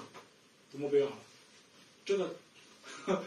这个是这个是一个突破，是是一个突破，也是突破一个传承，也是突破传承，突破传承，突破、超越、超越，也是传承。人不谦卑到说哦，为了主说我的传承、我的价值观、我的文化、我的逻辑思维，我都否认了，我都不要了。你把这个都否认了，你再重新建立的话，这个这个就舒服了。能把这几个这能能把拿下来的话，这就舒服了，对吧？你把这个都拿下来的话，你重新建立根基的话，就好建了。那你弄清空，你先清倒空嘛，倒空自己，然后呢，再把神的话语，再把神的话语准确无误度，先把它打，把它放在这里，往上建造，这个就好。嗯，这个房子就就就会根儿根基也也也牢固，嗯对吧？神的心意嘛，以基督的心为心嘛，对吧？嗯，你也是以基督的心为心，你这样建造就很好，是不是这样？所以你会发现啊，原来解答经文视听这个问题呢，呃，在这个过程当中，不仅仅我们还要遇到解答经文，还要破碎自己。那我反过来想，那些解答经文的人，那神学家，你想你想想啊，他们有几个这样破碎的？你你想就行了，都在每每个教派，每个就是每个教派神学家，每个教派神学家啊，每各个教派神学家，各个教派神学院，他们都有地域教派嘛。他们想没想过要破碎这个事，变空啊？要不要这样变空啊？对吧？为什么你看到你总是打开圣经啊，包括未读圣经啊，看哎，呃，这个教派这个牧师讲这个是这样翻译，呃，那个教派是讲这这样翻译，但你有没有考虑过，他解答经文的时候，他其实他其实都是有根基的，你思考过没有？他都是有东西的，没有思考过？他提供了一些答案，它里面是有东西的，题目答案，对吧？除非这个神学家先过来干什么？倒空自己，倒空自己，再来诗经，再来诗经还可以，但是没有几个，包括翻译圣，包括翻译圣经的那帮人啊，很多都是什么？他都都都还都都没有都没有信主的都。因为他们只是做了个什么字儿字儿翻译嘛，字儿字的翻译加上了语法，对吧？这这这只是个语言，这只是个语言最最最基础的，但深层的他都触及不到，他更不更更不会想到，我还为了这个信仰，我还什么都不要了，对吧？谁会谁会说，我现在我今天来，我我必须比如说先，呃，我应聘一个伊丽莎做翻译，嗯，你来做翻译，本来就是就是就是来做做我这儿翻译，然后你还能想过说，哎，我还为了信仰，我我我我的根基，我的信，我的我价值观，我什么都不要了，我来给你做翻译啊？你会想这事儿？你只是被被聘请了，比如说一个月给你多少钱，你过来做，你比如说这本书我需要翻译了，那你会帮我做个翻译，我给你多少钱？你就做这个工作，那你还想说，我为了翻译这个，我我我要撇下一切，我要啊，我我为了翻译把这个圣经翻译翻译出纯无误，我我我我我我拼死了，对不对？我我生命代价为为了几大罪，那谁谁有几个？没有，那人看圣经，它就是个最是是一个最简单的版本，他们就是付呃付了钱了，然后我说好行，我给你做把这个这个语言啊，给你翻译翻译，他给你做这个工作了，给你做什么工作？对吧？神学家给你做这工作，神学家嗯翻译圣经，那么多多少字儿都要算钱了，你要不然神学家怎么养生啊？按照字儿啊，你比如说我现在给你写一千字儿，你你给我五六万块钱吧，我再给你写，对不对？那谁给你谁给你干？你想这事儿，那谁给你干？那商业家都不他不吃不喝了吗？对吧？他充满书籍嘛，对不对？他他有他的这种他有他的这种方方式，对不对？他不会去想我要倒空自己，完了我我用我生命的代价，我非要把这个这个给解答中去了，嗯，对吧？他不会，他这个是嗯，因为尤其是每个神学家。各种各样解答了，他都他本本属他他都他都已经有教派了，他都已经有存在教派，只是这个教派的这个牧师，这个教派的神学家来做了这个解答而已，仅此而已。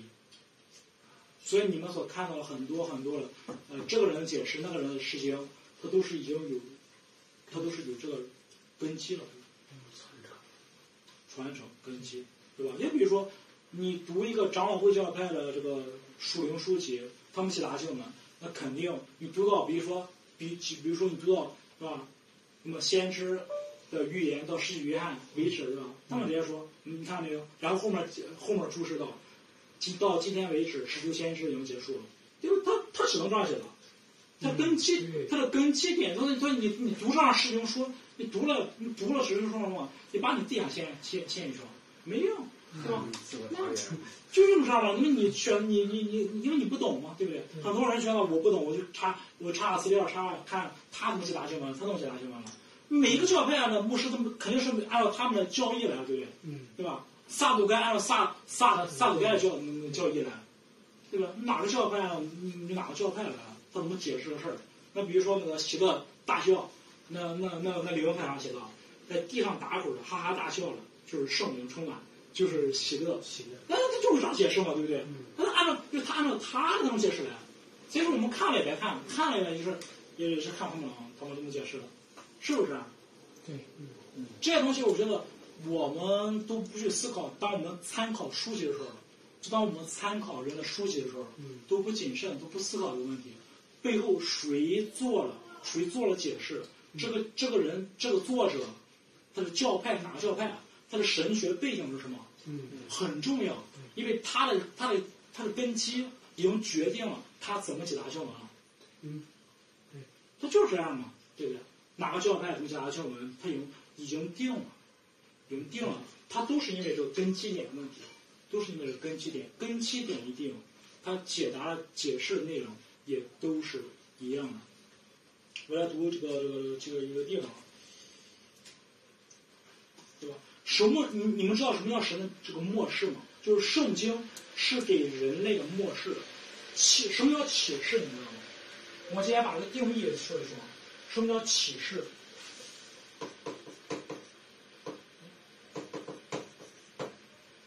什么叫神的启示啊？它定义什么呀？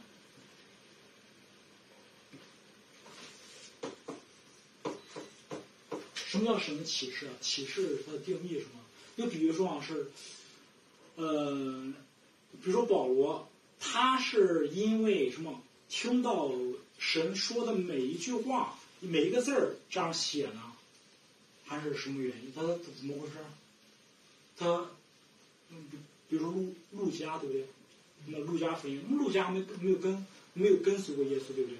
他为什么呃路加福音啊，马克福音啊？嗯，请问，那么是路加在桌子前面，然后神不停的说话，上写阿非正什么什么，提多非大人啊？他是因为神说的每句话，写吗？不是，不是，啊，这个很重要，很多人不知道什么叫神的启示啊，是什么？什么叫神的启示？神什么叫神的末世？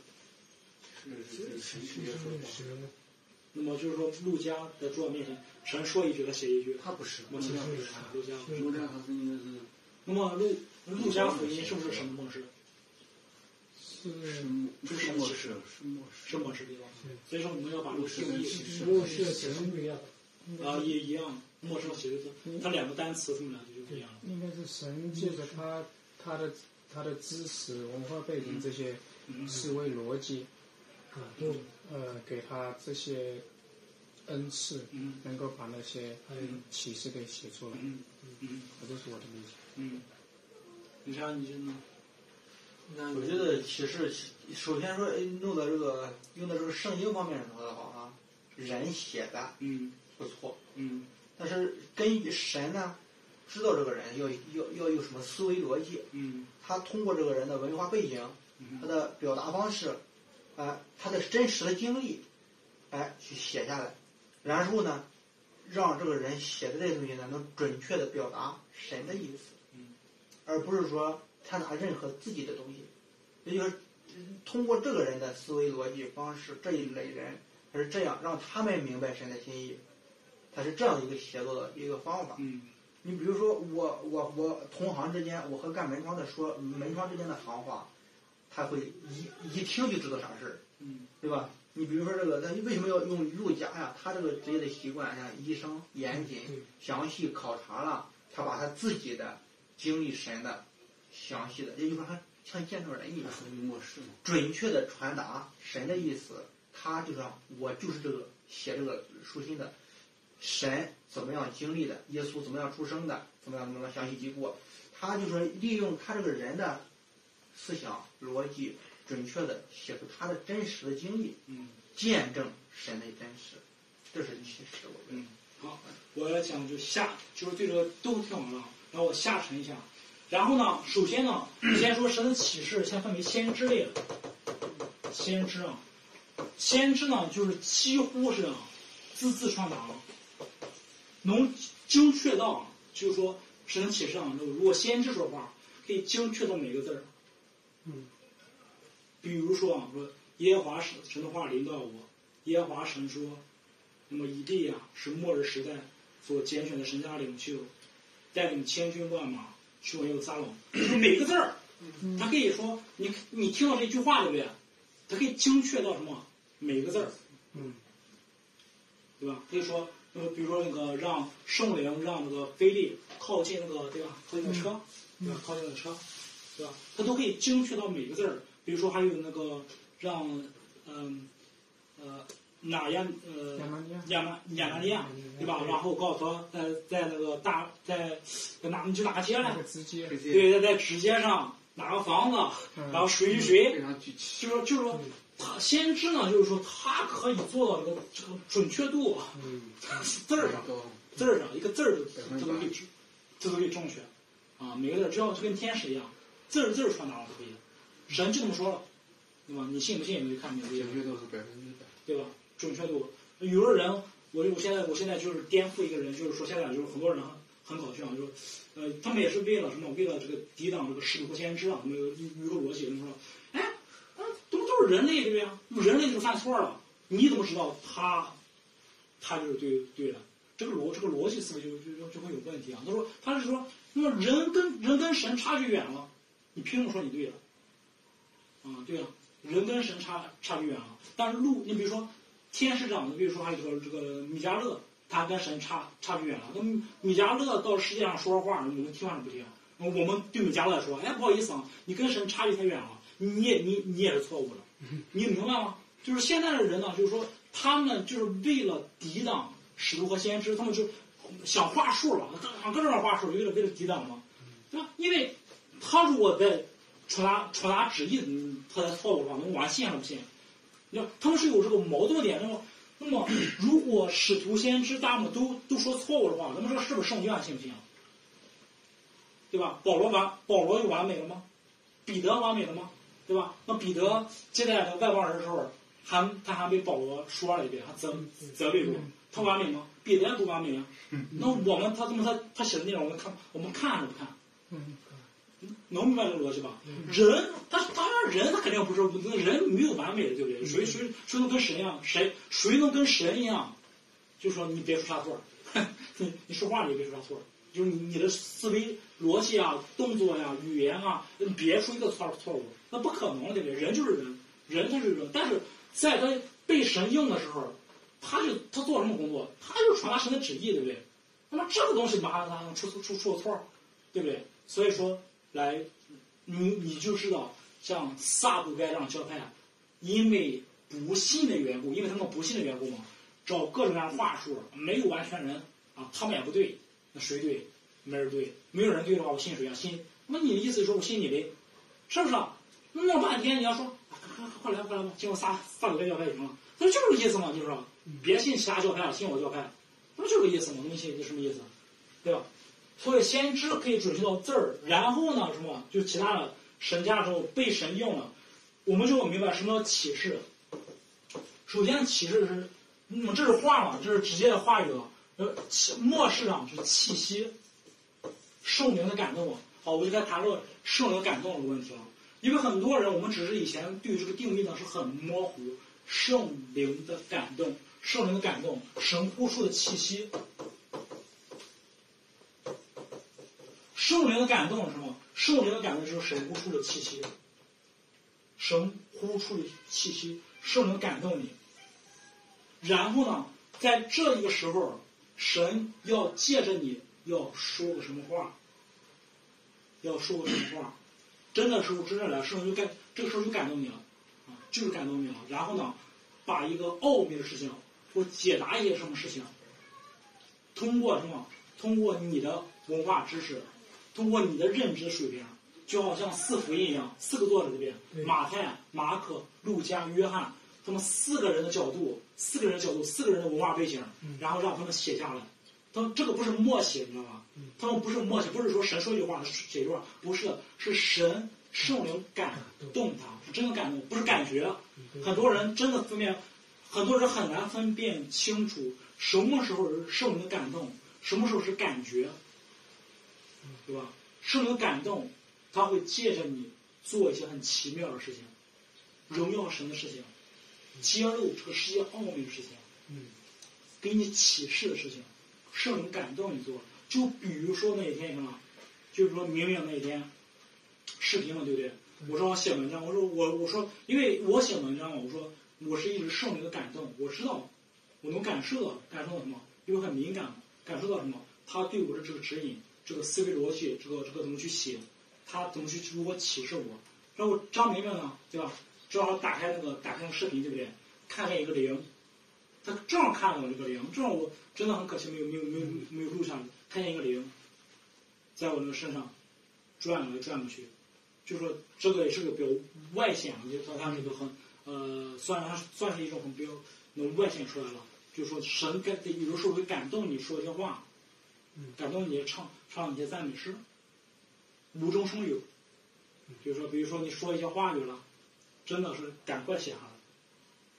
因为为什么圣经里面说一句话，不要消灭圣灵感动，就是意思，不要消灭圣圣灵感动你什么，都是神把一些奥秘事情啊，告诉你，赶快记录下来，不管是赞美诗啊，不管不管是呃神神要要表达一些一一些很好的这些东西啊，给就给人听了，赶快记录下来，要不然你不记录下来就没有了。所以说，我就我我发现了，是因为我发现了圣灵感动我的时候，包括你说你在哪去哪个地方站了，包括是神让你看到什么东西啊，你有什么东西，赶快记录下来。没你你忘记就没有了，你过就过了，过就过了。是所以说不要消灭圣人的感动，圣人感动来了，放下手头的工作，赶快记录，嗯，很宝贵，很宝贵。神感动你的东西是很宝贵的，是是很宝贵的，跑了就跑了，是吧？对，对吧？然后在以赛亚书啊，十一呃，在二十九章十一节到十二节，耶和华说啊，就是所有的末世，所有的末世啊，在你们看来都如封住的书卷儿，人将这书卷儿交给识字人说，请念吧。他说我不能念，因为它被封住了。又将这书卷交给不识的人说，请念吧。他说我不认识字。那么神的末世呢，包括为什么说解答经文，除了除了还有什么？就是除了我们刚说的啊，除了这个字字、语法、价值观、文化，它为什么还有一个层次是比较难理解？就是这个地方。神所呼出的气息，你听下，你听下去。十二点半之前，好，行，好，我们我们就就说为什么说这个在这个地方为什么说我们在你看刚才我们讲了嘛，有字字翻译有字，对不对？就是我们解答经文的时候有字，有语法，有价值观，有文化，有语境。当然，我们明天可能还要更学的就是那后后边，就是说我们看哪天，就是还有这个这个上下文儿，对吧？语言的解答还有上下文什么东西，我们都要考虑到。还有一个点呢，是一个致命点，就是说，也是在于这个这个点呢，就是说，为什么说能触及到触及到，触及不到就触及不到了？被因为你看这个这个这个圣经啊，如同是被封印的书卷，就打开看了，这神说了，你看你能念吗？你就你只能念个字儿，只能念个字儿，为什么？因为这是呼，这是神所呼出的气息啊，这是神所呼出气息啊，这个东西。一个人如果身上没有圣灵，如果这个人是没有灵性的，我跟你讲，没有灵性，开启光照，没有这个东西，你这也就是死了，这是活的，是靠灵才活，这是活的东西，很重要。圣灵重生，灵灵进入，圣灵光照，神呼出的气息，你才能对上号。这这是圣经里面是解答经文啊，解答经文是最最难的一个一个地方就是在于什么？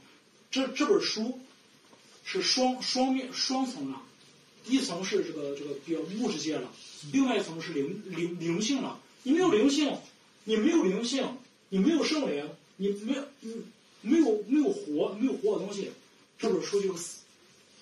你读了也白读，只你看了也也不知道到底这本书到底干干什么事，那他写什么东西。所以圣灵是非常非常重要的。几大经文没有，如果像几大经文没有这个圣灵的话，是没人触及不到，触及不到的。像今天的撒都该教派，啊，像今天的今天的撒都该教派，你就想就行了，你只能在外外面做个文明人，你再怎么想，你再怎么想各种各样的，你只能做个文明人。你转动嘛，你你触及不到这个东西，触及不到灵的这个方面，他只能最最终的最终就他只能做个文明人了，触及不到了。这个能不能理解？原来解答经文原来有灵性的一个层面，灵性层面必须靠圣灵，还有一个物质界。那物质界的话，我们就要学起来，对不对？我们就要对于价值观、文化啦，呃，这个上下上下门呀、女性背景啊，我们这这些这些是什么？可以学习到了，但这个是学习不到的。这个你圣灵的东西能学习到啊？神奇神光不光照你，开不开启你的眼睛，对不对？对吧？书，因为耶和华神说嘛，这本这本书就是封印书卷，被封印住了，封印了，已经被封印住了，对吧？他他他指向，他指向他子民开启的。这本书啊，圣经啊，他指向他的属于他的子民开启，其他人就读了也白读，读了吧就搞传销，读了他他最后就是说搞传销，搞他自己那一套。他触及不到，只能搞传销最后，看到了吧？这这个这个问题，然后然后比你比如说领数的问题，我跟你讲，因为因为这些板块都在一起的时候，它就会越来越接近什么？原来的意思，原话，对原话的意思，这些方面你都能搞明白、搞对了，对吧？这个神就有光照你。你才能听得懂、听得明白，嗯对吧？你才你才能知道说，因为有的时候，你比如说耶稣所所说话看似大白话，对不对？嗯你大白话你发到群里面，你发到这些教派里面，他们也看不见。他们为什么看不见？他们是不是没有这个灵性，看不见？大白话都别说很深了，大白话都看不见。耶稣说大白话，他都触及不到这个事情，都触都触及不到，对不对？你再再加上这个教义的一来，再加上这个这个教义的这种这种建立，对不对？嗯。那更更更就就就就更更不用想了。确实是，你看这个，嗯，我再说一点，咱咱就结束。饭做好是吧？唱咱的诗诗。啊。可以吧？好。呃，刚刚才我我刚才听他说这个触及不到这件事啊，确实是我们都知道，有的行业来说的话，叫隔行如隔山。其实都是窗户纸，对吧？嗯，一点看见了。但是这这层幔子，就像就像我们进入智圣所的这层幔子，说难也不难，说不难，不给你打开，你这一辈子你都不知道里面是什么东西。虽然是薄薄的一层窗户纸，对吧？嗯。这这是我们就说世俗上的行业都有这么一个说法，是吧？隔行如隔山，虽然都是窗户纸。如果不给你点破的话，你永远不知道里面是卖的是什么药。我这个葫芦里卖的什么药，我不拧开盖儿倒出来看看，你是不知道的。嗯。但是呢，现在人呢，为什么叫粉饰的坟墓啊，修饰的坟墓呢？你这个盖儿盖好了以后，那么我想给你打开这个盖儿给你看看的话，严重，比如孝不孝啊，对吧？不孝顺啊，怎么样啊？怎么样？就把那个礼仪的东西给你卡死了。比如说，我以前学学过，这就是这个叫改革中长老会的他的因信称义，这是核心教育。你信称义，对吧？因行为称义，那就出于行为，对吧？你们得救因着信，不是出于行为，免得有人自夸。这一句这一个经文出去以后，是不是用圣经的话了？对吧？免得有人自夸嘛。因信称义，有没毛病？有没毛病？没毛病吧？但是圣经里面更有的话，亚伯拉罕因信怎么样？怎么样？谁因信怎么样？怎么样？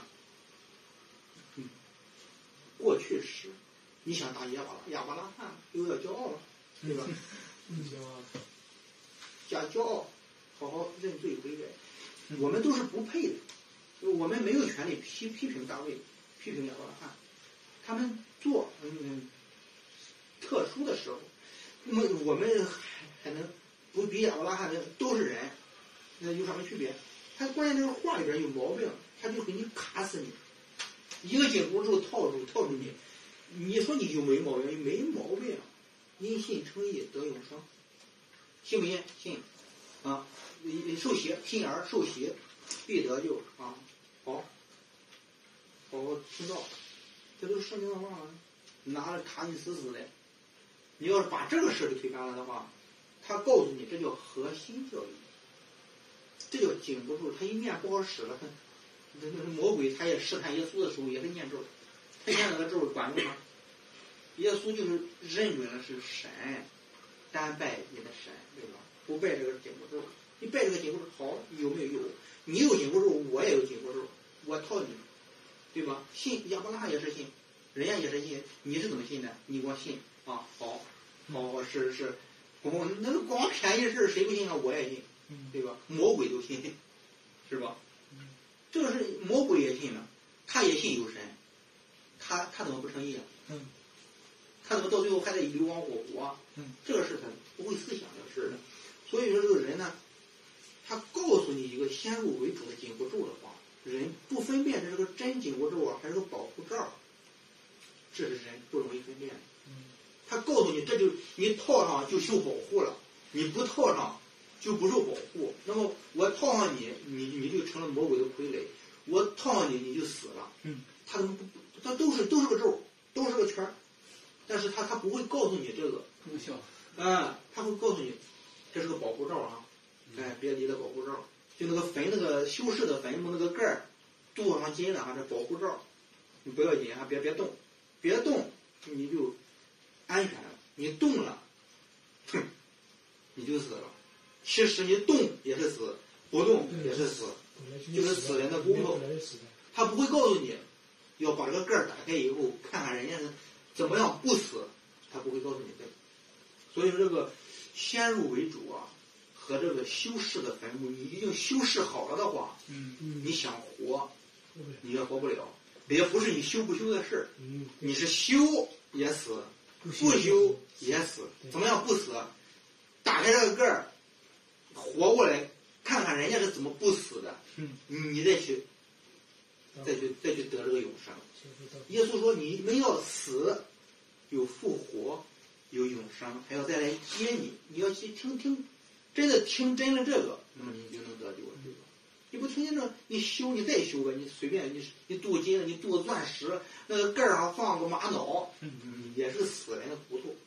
也就是说，人谦卑到一定程度呢，把这个修饰的这个功夫啊，嗯打碎了，把这个盖儿打开，看看到底是化验化验你是活的呀，还是个死的呀？这样的话，离得救就不远了。所以这个谦卑啊，很重要。嗯粉碎自己的这价值观、人生观，你再去寻求神，那么你离的神的国就越来越近了。要不然的话，你想别的，你你想多了，你你想多，真的想三想四的整天还，你想三想四，永生的神都不认识你，都不认识你，认识是认识你了，你打这旗号多了，你打这神的旗号是吧？嗯啊，都愿意得永生，都愿意想好事儿，都想好事儿。那么你真正能得到这个主的认可，能够真的得到这个永生的，那才叫得到了，对吧？你光是骗人那些东西，不让打不让打开这个盖儿，你不让打开这个盖儿，你你使劲修，嗯，那个没毛病，是吧？你一伙儿的自己人你修呗，是吧？嗯。所以说这个有的时候确实需要破碎，确实需要谦卑。不具备这个的话，你整天的越有的越没有。确实是圣经里边的话，你细思耶稣说的话，真的想明白的话，嗯真吓一跳。嗯，对，这个是加分。我我把那个补充，还还有一个，就是说，刚才我们说了嘛，呃，中文的解答有一个最基础的，就是我们可以学习到的东西，对不对？就是字字、语法、语境、上下文、比喻啊也好，文化、价值观，这些我们都都是可以可学的。然后圣灵重生，啊，就是说这个事呢不可学，但是我们每个人必须要圣灵重生这个问题。然后呢，还还还没结束，啊，因为并不是所有的信徒都是干什么呀？都是解经了，对不对？也就好像有，并不是所有的信徒都是先知一样，啊，就是神也会看见他是他的这个使徒，对，因为因为你们记得这句话是吗？解铃还须系铃人，对吧？解铃还须系铃人，他神放了一个奥秘在这里，让使徒写上来，那么肯定会再派另外一个人，他们同样嘛，只有使徒相通了，就是，然后呢，再把这个东西给解开，再分享下去。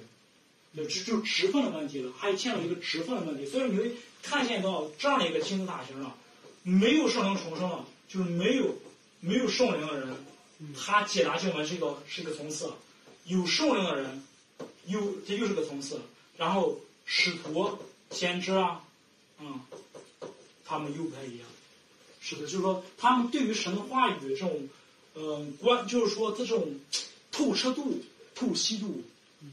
他他们也是也也是不一样的，他们他们也是不一样的。为什么说神要差遣使徒要做了工，就在此，因为使徒很多人都不知道使徒干什么，使徒是干什么？就是传达上帝旨意，对吧？就是语言中不动了，保证语言就是耶和华神的心意，他的心意，他的话语，他要传达百姓什么什么事情，这就是使徒要做的工作。为什么教会是建立在使徒先知上？你就更加明白了，对吧？一个一个人是负责干什么？圣经，一个人是负责圣经，另外一个人负责什么？与神沟通。这两个，你为什么教会必须要建立的在这上面？你想想啊，你教会建在其他方面的话，你根本就不可能成型。这是个教会啊，它必它的根基啊，为什么是为什么是有使徒和先知？嗯，你我不知道你们会想没想这个问题？为什么使徒先知？他这两个人保住了什么？一个是保住了圣经的经文解答，另外就保住了跟神的沟通、交流的问题，不不断的下沉启示。所以呢，这个根基点不出差错，只有这个不是差错，你再难见怎么教会啊，怎么去做啊，行为啊，往上建再横见。你没有这个东西，你神的话语都错误了。你像你像其他教会里面，其他你像其他教会里面有什么？自己的教义，对吧？自己的教义有自己的文化，有自己的文化，有自己的价值观。嗯，他们的根基就是他们的根基啊，有自己的传承，传承有教义，有文化价值观。那么他们上面建造的东西，你想，你可想而知就行了，因为他根本就没有跟跟神这这个这个根基是跟神没有关系。当然，他这个东西他他打打了一个耶稣的名字而已，那么这个也是嘛，也是靠主耶稣基督差遣做的嘛。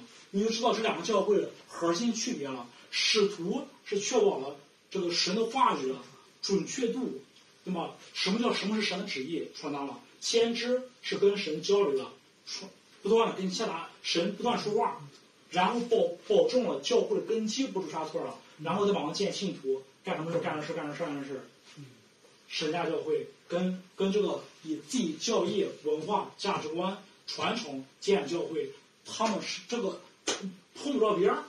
啊，这两种是这个是天天与地的差距吧？只能说只能说是天与地的差距，一个是天，一个是地，天与地的差距。教会为什么是必须要是必须啊？是不这个是不能妥协了，嗯，是必须建立的使徒和先知。你不把这个搞搞明白的话，那么神都不参与。嗯嗯，那么是不是像斯蒂凡说了，耶和华神不居居住在人手所造殿？不居住人怎么吗？这是神参与，神的话语在里面，神的话语在里面，神的灵在里面，不停的不停的互动。那么这个时候不停互动，对不对？互动了，那么这个时候死了吗？没有了吗？说不存在了吗？你就想想，那么那是不是耶和华神说不居住人所造殿吗？那么今天多少教？那么今天是不是我跟你这样说？所几乎所有教派，对吧？我说明就刚说这把剑上，这把剑到处，你你说神来了，他们怎么校正？你们这这这些带领人，这些这些带领人，这些这些教派的创建人，这些教会创建人，那神来了他怎么就这样？不是，他他这这这个东西，他是根基点，他从哪来的？所以说，我都说了嘛，你都不用成为先知，你都知道，呃结束就是万物结局那天，审判那天，这帮人都不怎么样，都不用成为先知，都都，他他嗯，他这根基点都看得很清楚，画，这修饰粉粉饰坟墓嘛，修饰粉饰坟墓啊，修饰坟墓，坟墓是死了嘛，这个已经是死了，是不参与啊，就是，嗯，你你现在有没有问题？我跟上三你说就，我要把这个事儿也加上去，你们就知道了，嗯，对吧？通过几大经文、释经来说，知道了使徒、先知到底他们两个预表什么？他们在教会里面起到什么作用？为什么他们需要成为教会的这种根基点？不能随便啊，这是神差遣了，神参与了，互动型了，神参与了对，神让他们见了，神让他们见了，关键是是神让他们见了，对吧？神让他们见了，那这个是神没有让他们见，是咱们自己见的，你得想象是这样。有没有其他人补充了？我今天这个今天讲到今天的课程就结束，有没有什么补充啊、分享啊？到最后了，就没有？没有？嗯嗯嗯啊，没有？没有好，那么我们就唱赞美诗啊，嗯，真的是 越嗯，对吧？今天的话，今天我就说这个核心点，这个这个主题是什么？就是说，我们就好像伊丽莎说的，就是修饰坟墓。我们今天就为什么它是坟墓？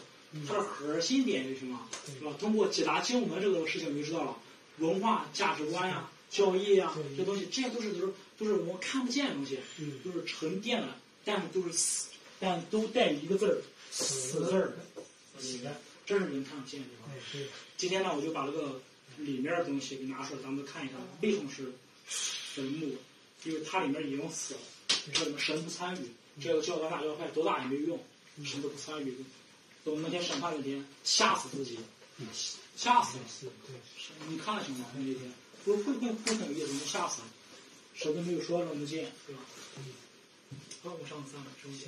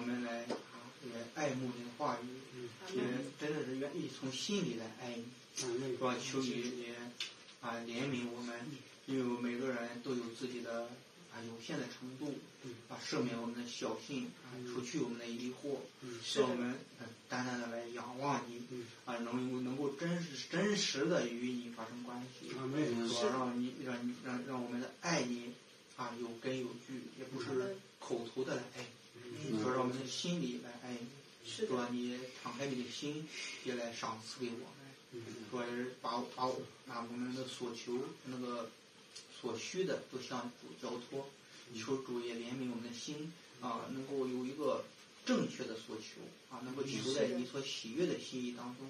是的，主啊，让我们能够啊不是啊自己妄求，而是让我们啊啊按照我们的身量啊按照我们的心意，主啊你也赏赐给我们，让我们所求的也能够啊在你的心意的喜悦当中。主啊，求你大大的赏赐我们每一个人，主啊，因为真的是我们预备是何等的丰盛，使我们超出我们所求所想，使我们深深的知道你爱我们，啊，使我们没有缺乏，主要，让每一天都能向你献上感恩，主啊，让我们在你的恩典当中饱饱的得着，主啊，求你赐给每个人喜乐，啊，以你为乐，主啊，谢谢你，啊，求你也眷顾我们下一次的学习。